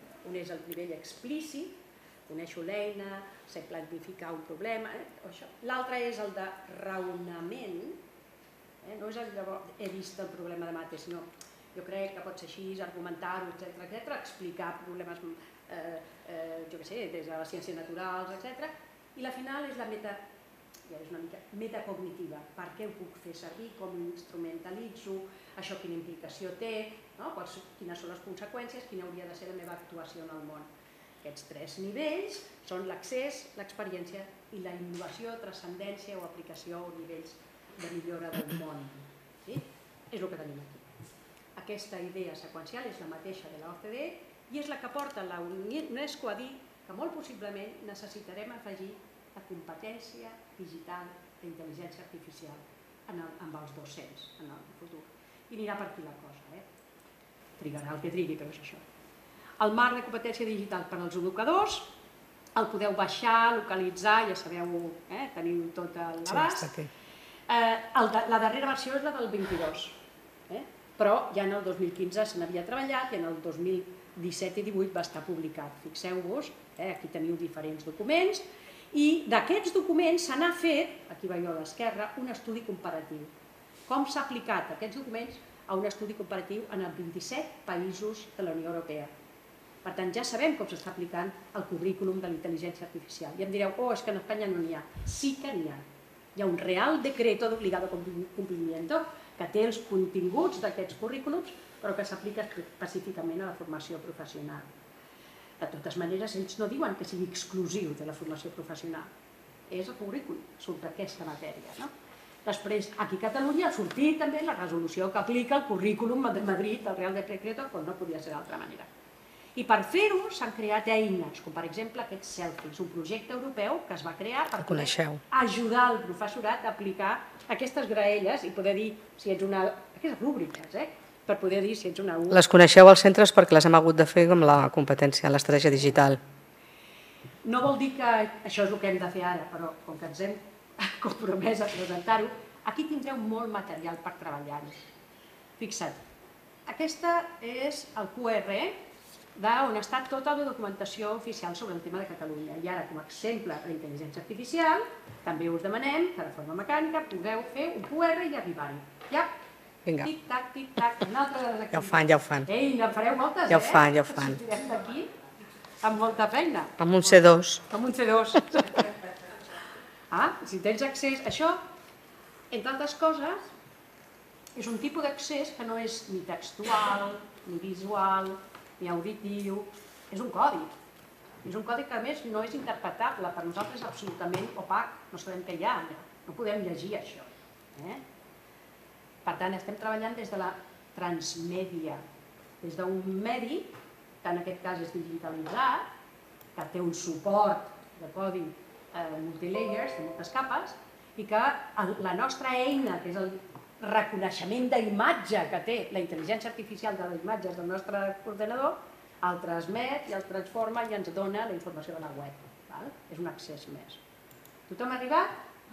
Mireu d'aquests, un que no coneixíeu. Va, mireu-la en veu alta. Un d'aquests documents que no coneixíeu. Que no sabia ni que existia. sabien què, què era o que existia o que... Un, va. El primer no sabia. Per exemple, no? Per exemple, per Sé exemple. que no estaves... Fan... El d'educació infantil, no sabies? Molt bé. Ah, doncs sí existeix, que, també. Que tu no sapigués ser el primer, tenint en compte que els profes de tecnologia vol dir que tenemos un puntazo. No, ella, No, ell, ell, ell, ell sí, perquè ve de, de Ah, tu l'institut. et felicitava. Sí.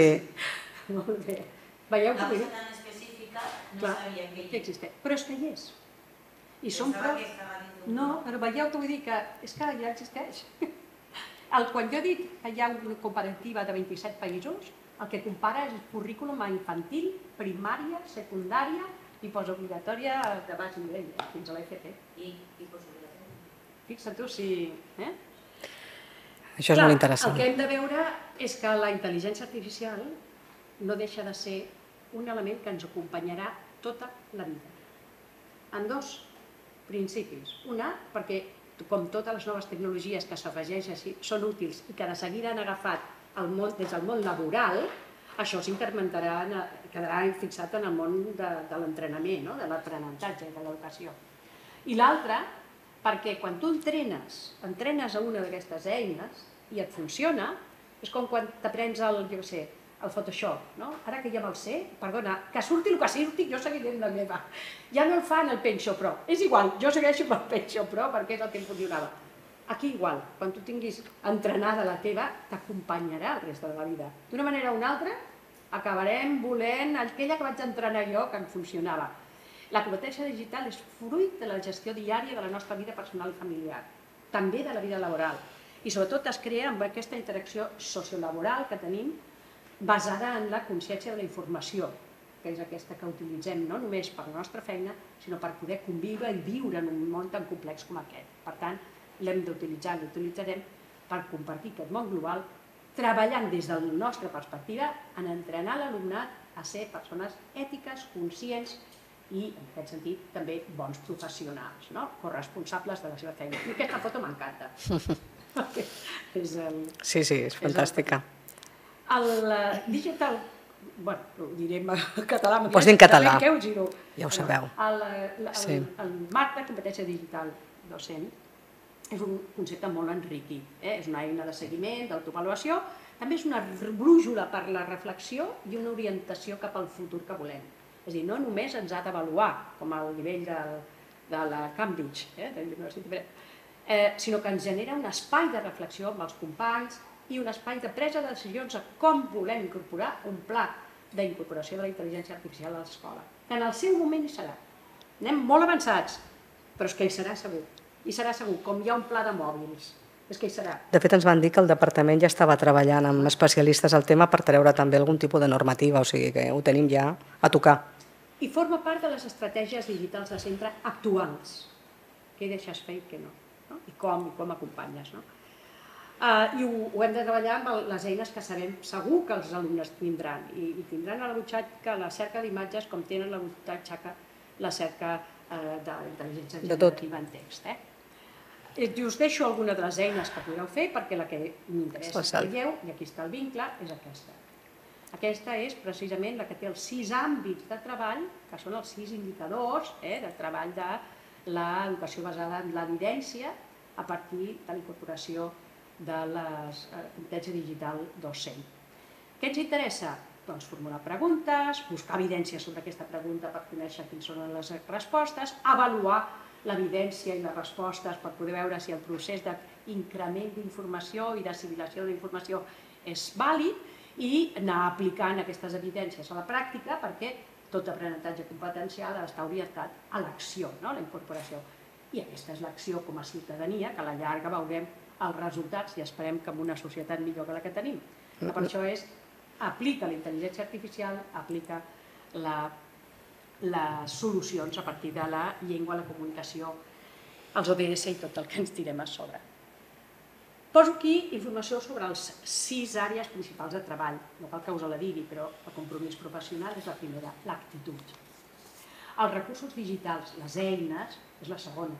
Si estem parlant d'incorporar aquestes eines, hem de pensar que les tenim. Però és que ja les tenim a la butxaca. No cal anar a buscar les coses més complicades, que també estaria bé tenir-les, eh?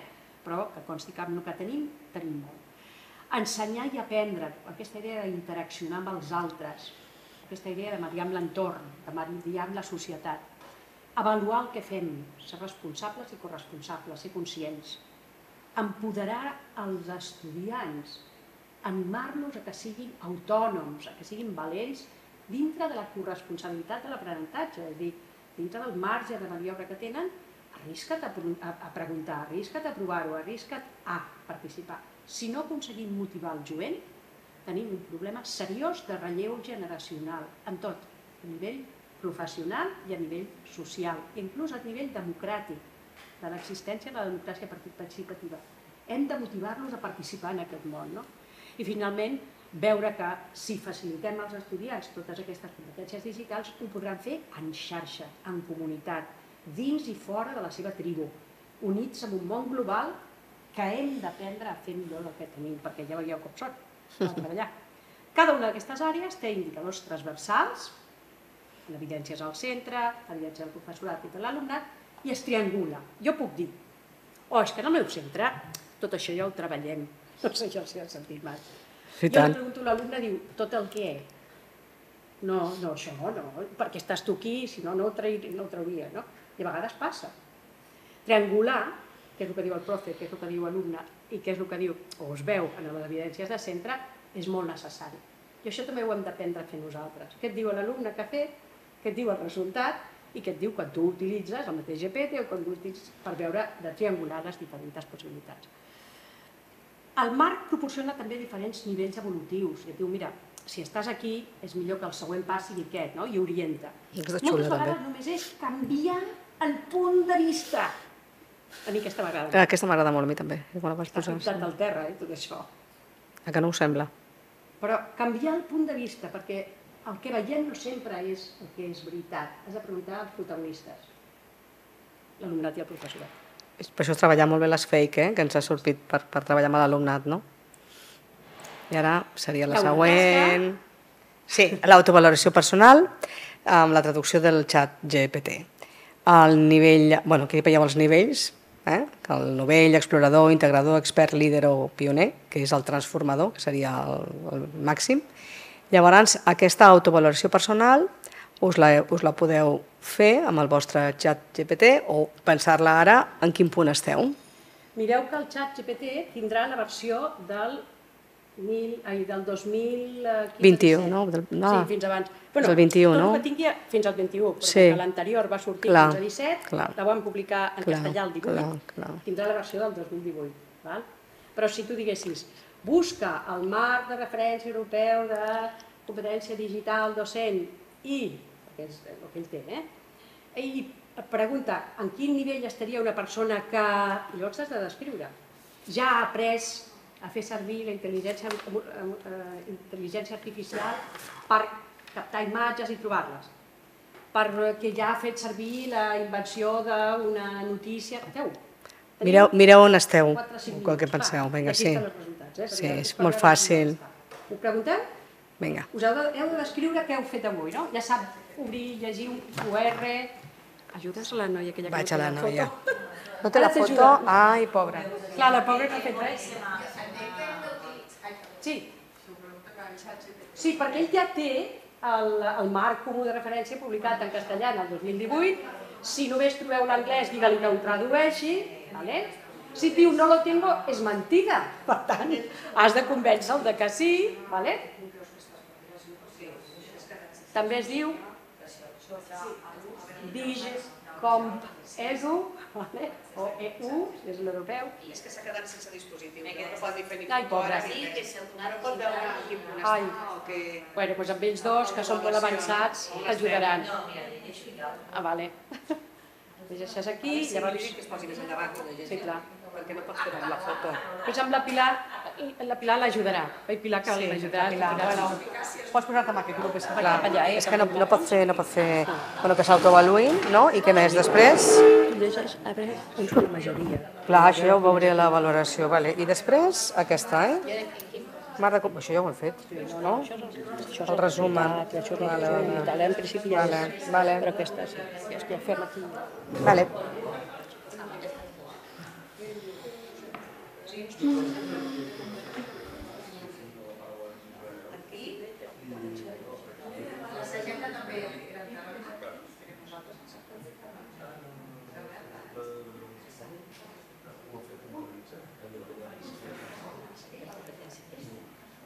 Has de ser molt concret. Escolta, perdona. T'he de que persona que no està en aquesta sala, una una meravella de persona, que va treballar fa 25 anys, està encantat que estigui aquí, és la persona que més a tot la vegada saber que estava aquí, pensa que ets una de les persones que havia tingut en la seva vida. Anirem al Monte de Vigo. Perquè m'han parlat molt bé de tu, ja t'ho puc dir. Jo estava, jo estava a sala, eh? I si, i si... Las últimos colors.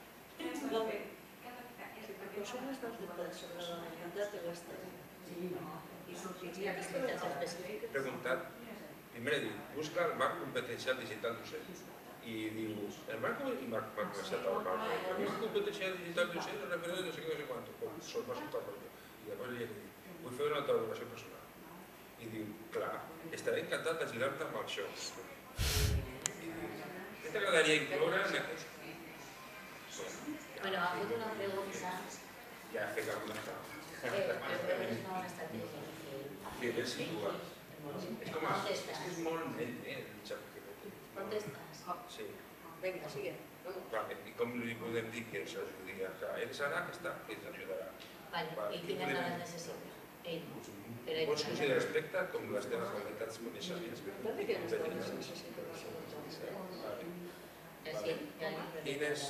coses seguretat.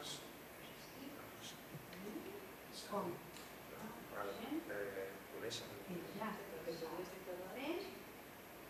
Una. Quines sí. Realitza l'autoavaluació personal. És útil tenir informació sobre les... Aquestes, és que les, les preguntes... Com aneu? Es penja.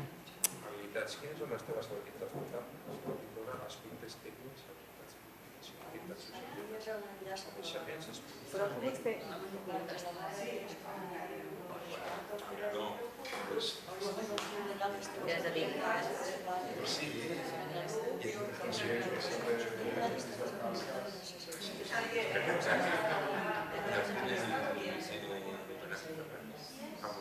Però que... És dir, que necessita. Són les que necessita. I quines són les primeres? He fet algú al, i segurament em presentaré. Tecnologies digitals, per servir a Sí, sí. tecnologies digitals, promotòries. Aquestes coses les funciona.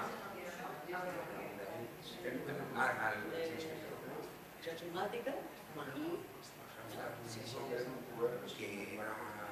Que era més i ara Algunes. sí. És que jo ja estava a les classes. Sí, ja tinc tinc la referent que és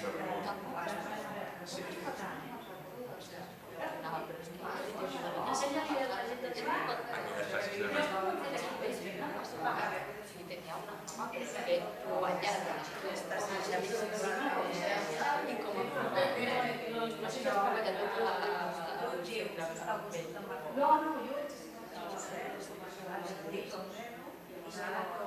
El Ramon, el director, és un referent.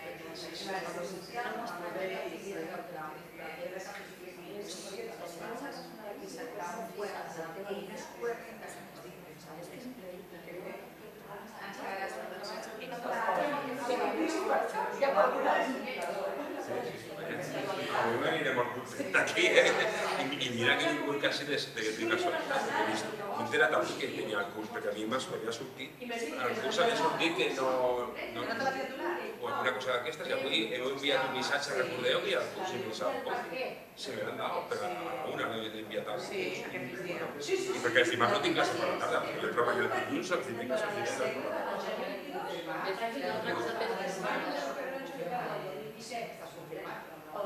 No tinc cap comunicació de... O sigui, la primera comunicació.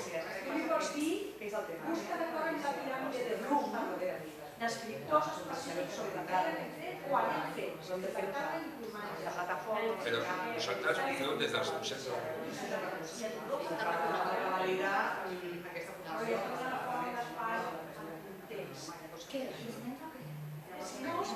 la tinc, però no la tinc a casa, als Estats Units. Si ha salido también ella, esa igual, San Bex, a la tercera va a ser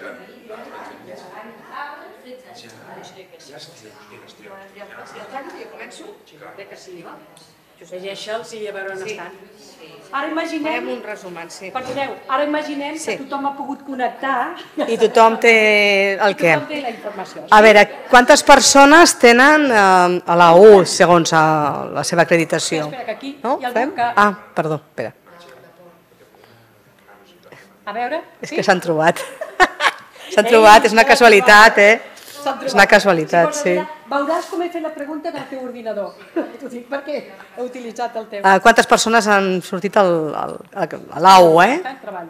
És el- Algú? el No, és la, és que el, el wifi no ens Però la acompanya. pregunta la tenen feta, eh? Val, doncs mm, voleu compartir-ho? A 1, a 2, més? No he trobat algú? Ves- ves llegint, no? ves- ves llegint. Bueno, vaig llegint. A la U faig poc ús de les tecnologies digitals per a la col·laboració. Rarament faig servir tecnologies digitals per col·laborar amb col·legues. Algú d'aquí? Ningú, no? És que jo crec que això ja està superat, espero. Em sento conscient i faig un ús bàsic de les tecnologies digitals per a la col·laboració. Faig servir tecnologies digitals per col·laborar amb col·legues de la meva organització, per exemple, en un projecte conjunt específic o per intercanviar contingut, coneixement i opinions. Qui està a aquest nivell? Va, sí? Exhala 2. El B1, que seria un punt més amunt, faig servir les tecnologies digitals per a la construcció col·laborativa del coneixement. Uso activament comunitats digitals per intercanviar idees i desenvolupar recursos digitals de forma col·laborativa. Algú sé, ja estaria al B1? Sí, jo crec que sí, eh? I més, i més, i tant. B2. Faig servir tecnologies digitals per reflexionar sobre i, sobre i millorar pràctiques i competències. Uso la intuïció i recursos generats a les xarxes col·laboratives on pertanyo per rebre feedback i millorar les meves competències i ampliar el meu repertori de pràctiques digitals. És el que estem fent ara i quan estem a les xarxes també digue-li el Twitter i fem treball i fem, tra i, i fem un treball o estem en algun xat. Uso el seu, aquest ja seria un punt mm, bastant elevat. Uso les tecnologies digitals per facilitar pràctiques innovadores. Participo en comunitats digitals per ajudar a altres educadors. Aquí ja a- ajudo a desenvolupar les seves competències digitals i pedagògiques, quan jo ja dono idees. Algú està... Bueno, ens estem aproximant quan acabem. Sí, el que anava a dir, quan acabem. Si feu... Sí. Està. Si fem els deures que toca, estarem aquí, eh? El seu, segur. I Veieu? ha el transformador, utilitzo comunitats digitals per col·laborar amb col·legues en la innovació de pràctiques pedagògiques i mm, se m'ha quedat tallat Ah, això. tallat, va. s'ha tallat? Bueno, Bueno, seria el de la, bueno, la transformació, aquest ja seria un punt. Cap aquí anem, no? Seria el, el nivell que volem arribar en algun moment. Fixeu-vos que el curs recull gent que pot estar a la 2 i en el Sí. B1, A la 1 no està ningú, oi? Que això és el més important. Jo crec que poca gent ja en aquest món que vivim està aquí. I si està aquí té un problema. I llavors, en el B2 ja reflexionem sobre els usos pedagògics. És el que hem començat a fer. Que és el que ens interessa. És el que ens interessa. Hem d'estar com a mínim al B2.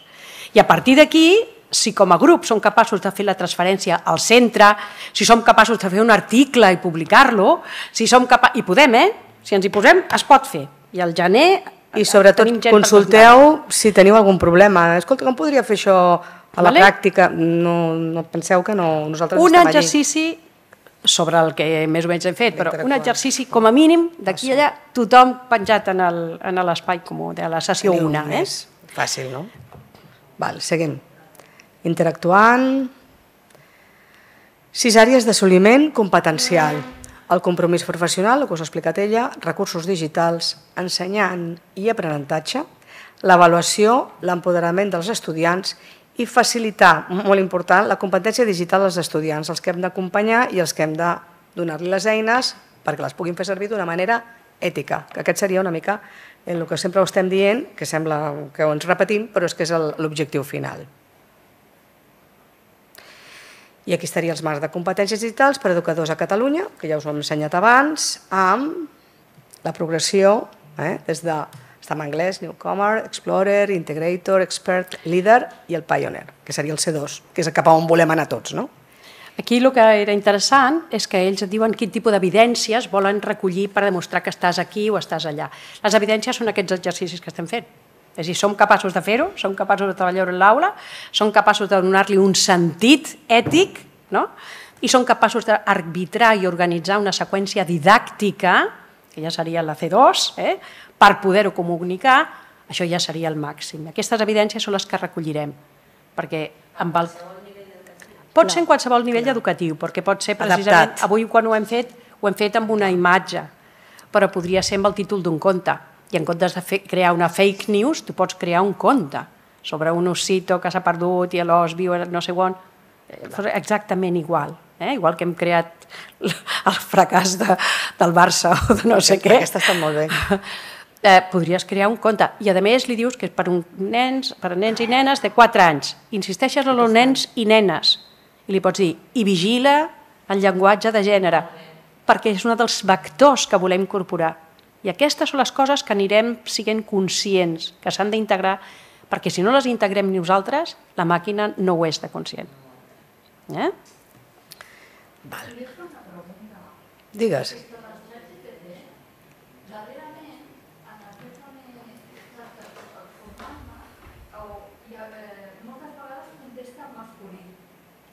Um, sí. Perquè...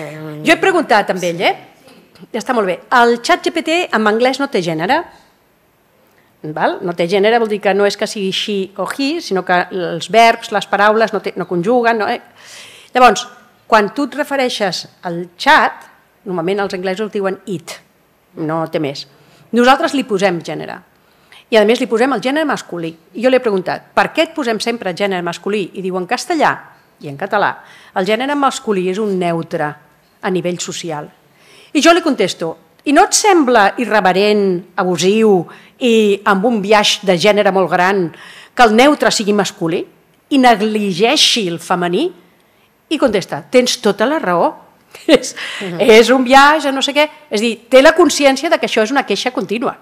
Per tant, realment existeix, té la consciència, em refereixo al contrari, no té la consciència. La eina recull que aquestes frases no és la primera vegada que s'han dit. No? Per tant, tu podries parlar en femení amb ell, i a més li dius, tu dius, amb ell o amb ella, no? A partir d'ara, xat, et diré ella, et diré tu des del femení. Amb la meva llengua tinc aquesta possibilitat d'orientar si estàs tranquil·la o estàs tranquil. I ell contesta, jo com a model lingüístic no sóc sensible al gènere, pots dir-me com vulguis. Explico-us. I, I tu pots entrenar-lo perquè això passi. La Siri t'ajudava, perquè una cambrera, conductora, no sé què, era la. Bueno, doncs eh, trenquem els, eh, les qüestions de gènere. És molt útil parlar-ho perquè veus que en les cadències de la gent que ha parlat sobre el tema existeixen les dues posicions, no? I això la reflexió, la reflexió és, ostres, és que te n'adones que aprendrem molt sobre el ser humà, aprendrem molt sobre les nostres inquietuds i ensenyarem a la màquina si som prou llestos, perquè si no És que hem es begut tracta oli, eh? d'ensenyar d'ensenyar a la màquina, no? D'alguna manera. Si no hem Clar. begut oli. Val, això, el contrast. aquest El document QR interactiu de les àrees del mar de la competència Aquesta, digital. si us plau, si no el teniu, feu la fotografia. Sí, aquesta feu la que foto, Els que esteu a centres la deveu conèixer, però feu-la. si no l'heu fet servir, feu la foto i utilitzeu aquest QR. És interactiu. Cliques i ho tens tot. L'evidència, la descripció del nivell, la forma d'avaluar-ho, el test, un checklist per veure si compleixes, està tot. Això dona per un màster, ja us ho dic. Per, per diversos, sí. Però com que ho volíem afegir el, al final i amb un trosset petit, es quedarà reduït. Tornarà a sortir, eh? tot el que estem fent ara tornarà a sortir en el seu moment. Està penjat? Ja està penjat. De la carpeta. Vale? Tot està penjat, Ai, sí, el. Power també, i aquest en concret, que vagi a un vincle, Sí, mireu, veu? En català, interactiu. és que si poguessis entrar aquí ja seria fantàstic. Val. Surt, per exemple, això. El contrast interactiu de rúbriques, per nivells. nivell, cada un d'ells. Del tot els... mm, per alumnes, professors i centre.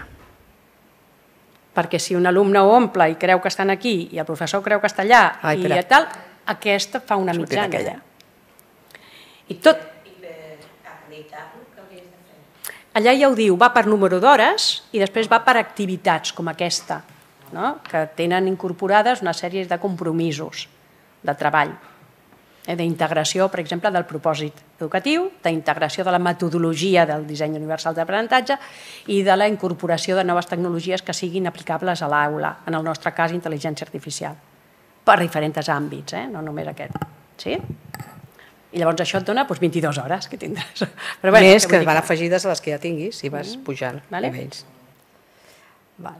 A part de que hi ha exàmens després, eh? com anar amb el... Què opineu de tot això? Que- Quina és la impressió vostra de, del curs? Per ara o què? de... Va, Esteu així, és que esteu una mica així, no? En xoc, Va. quant material, quantes fem coses... Fem en construcció. Primer teniu 30 segons per pensar una frase que diries, pues, la avui ja està, tal. Què m'emporto? no? 30 segons, què m'emporto? Què m'emporto? Què, tal. I després ho fareu per parelles, després en grups de 3, I després passo jo amb el micro i anem compartint. Va, som-hi. Vull. El company, companya, Una frase que m'emporto, com? Va, m'espero, m'espero. Jo estic per aquí, eh? A la que vulgueu parlar. Què m'emporto? Ja? M'emporto ganes de treballar l'eina i de- i d'explorar-la per, per un bon ús als centres educatius. molt bé. Doncs jo m'emporto moltes idees i també que solo sé que no sé nada, vull dir que a veure, eh?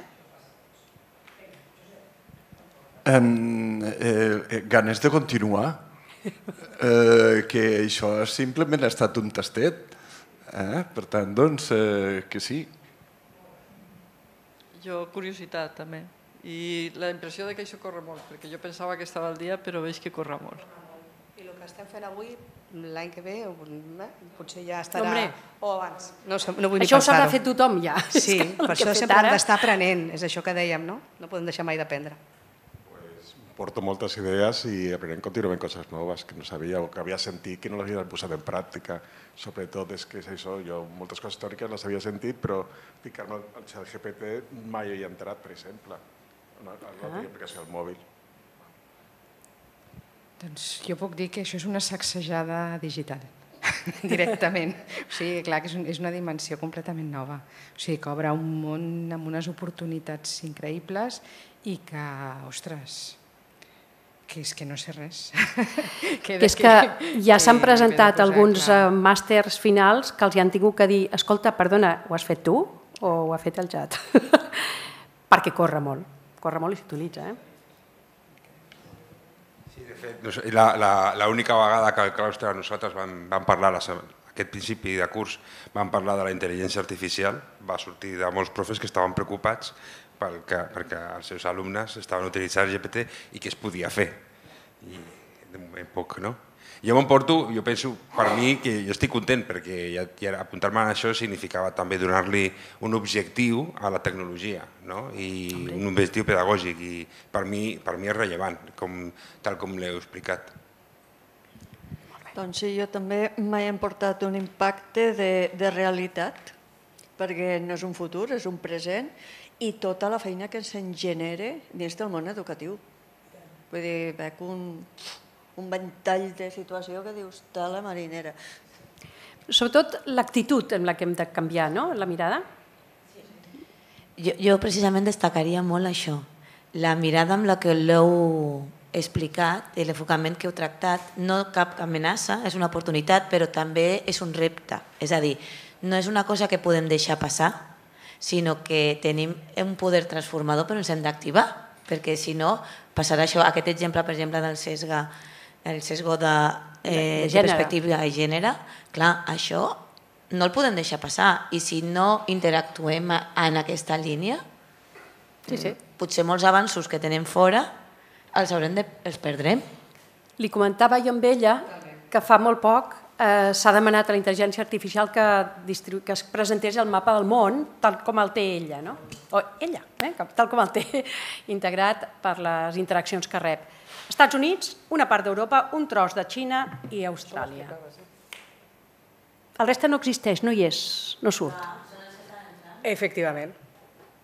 Pues amb el, amb el, clar, si només si entren Vale. més homes que dones, o, m'enteneu? Pues això estem el que estem fent.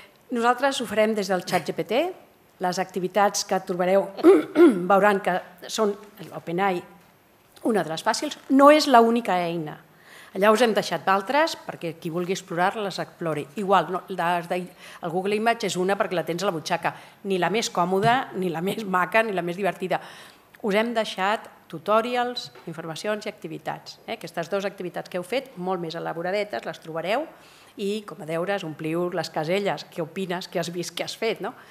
Eh, però de, de tasca mm, important és a veure si en podeu fer una. Si algú no té alumnat, tranquils, feu com hem fet amb aquesta creació de la imatge, feu per fer una rúbrica d'avaluació, feu per fer una planificació d'una sessió de formació, feu per crear un acte d'una reunió. No? Ampliació amb temps. L'ampliació, Si temps? tinguessin temps, No nosaltres tenim- no en tenim no, temps, eh? només per dir-ho i és perquè hi és. Us expliquem. Contacteu amb nosaltres si necessiteu qualsevol informació. Us avisarem per la propera sessió. N'hi ha una virtual mensualment, que mirarem que no sigui sempre dimarts o no sigui sempre dijous i que pugui variar una mica d'hora, perquè si algú no pot estar sincrònicament amb nosaltres, ho pugui fer després, abans, o ens puguem connectar de diferents maneres. Sí que hauríem de fer el cap de l'any, les 22 hores, de segur que ho farem, Casa. i el que sí que us demano és, si us plau, eh, molta garantia d'assistència a les dues sessions que queden, perquè això ens ajuda a tots. Sí. Us deixarem... Hi ha, hi ha gent que ens ha dit que avui no podia venir, però que, que, que també estan farà i que també apuntats 20 farem el persones, següent. eh? Eh? Com a mínim.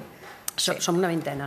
Val, i per acabar, Eh, jo sí. cada una de les, dels àmbits, de les àrees d'assoliment, per exemple, l'assoliment del professorat, etc., he buscat una teoria de rellevància. He buscat una de les imatges interessants que pot ser útil i un document on ho podeu trobar. Ho dic perquè alguns de vosaltres, sobretot els que esteu fent formació o la inspecció, que si vol aprofundir, doncs això li pot ser útil, veureu que en cada un d'ells hi ha un logo que segur que heu vist en alguna vegada i representa, doncs, en aquest cas, les competències docents digitals, eh? que aquí en cada un d'ells tindria els tres àmbits, els educadors, els estudiants, sí? Veureu que alguns d'ells van associats a una tasca. Aquesta tasca està integrada amb aquelles dues tasques que us he dit que està, que estan en la carpeta de tasques a fer. És una autoavaluació on estic. Si tu omples això amb una evidència de cada una d'aquestes coses i aquestes evidències, aquesta columna en blanc que estarà plena, la poses al GPT, et donarà el nivell. Eh? Això mateix que volíem fer ara, però t'ho donarà ja amb les evidències. És l'acompanyament a tot el que hem fet. No són extra, són les tasques ja que ja hem fet, però que les tenim pautades i arreglades. Tots ells porten indicadors, en aquest cas indicador de compromís, indicador d'implicació. Tots ells form, porten també associats quines són les competències digitals que representen o estan eh, assenyalades amb el compromís professional en cada un dels àmbits. Eh? Veureu també que en aquests aspectes hi ha algunes de les àrees, aquí està la 6, eh, els recursos i el tal, algunes de les àrees que no depèn de nosaltres, els recursos potser no depèn, però sempre us donarem tasques a fer amb recursos a l'abast, gratuïts, a l'abast, que us, qualsevol ho pot tenir, d'acord? I veureu que alguns són materials que estan en diversos idiomes, el selfie ja el teniu, ja els feu servir, un altre, per exemple, aquesta de l'ensenyament i aprenentatge, farem doncs, a partir del model TAPAC, treballarem bàsicament el mateix que ja coneixeu, és a dir, no és que és una gran feina extra, però la posarem en pràctica eh, en cada una de les sessions. I us deixo una mica per veure les etapes i nivells, a partir de tot el que veieu. I aquí estem fent la roda, eh? Sí. la roda de tots els l'accés, l'experiència la innovació, i ja de cara al final, com es facilita això en l'escola, la comunitat educativa o al centre. Està basat en els cercles de, mi, de millora o a l'espiral d'indagació Sí. o en els eh, cercles virtuosos. Que jo volia dir, Neus, que un un altre dels punts forts del curs és que vindran diversos experts de tot això que estem parlant eh? Sí, i sí. que també ens enriquiran també la nostra pràctica educativa. I per últim, un munt de feina feta per molta gent experta, que som tots, des d'ara ja.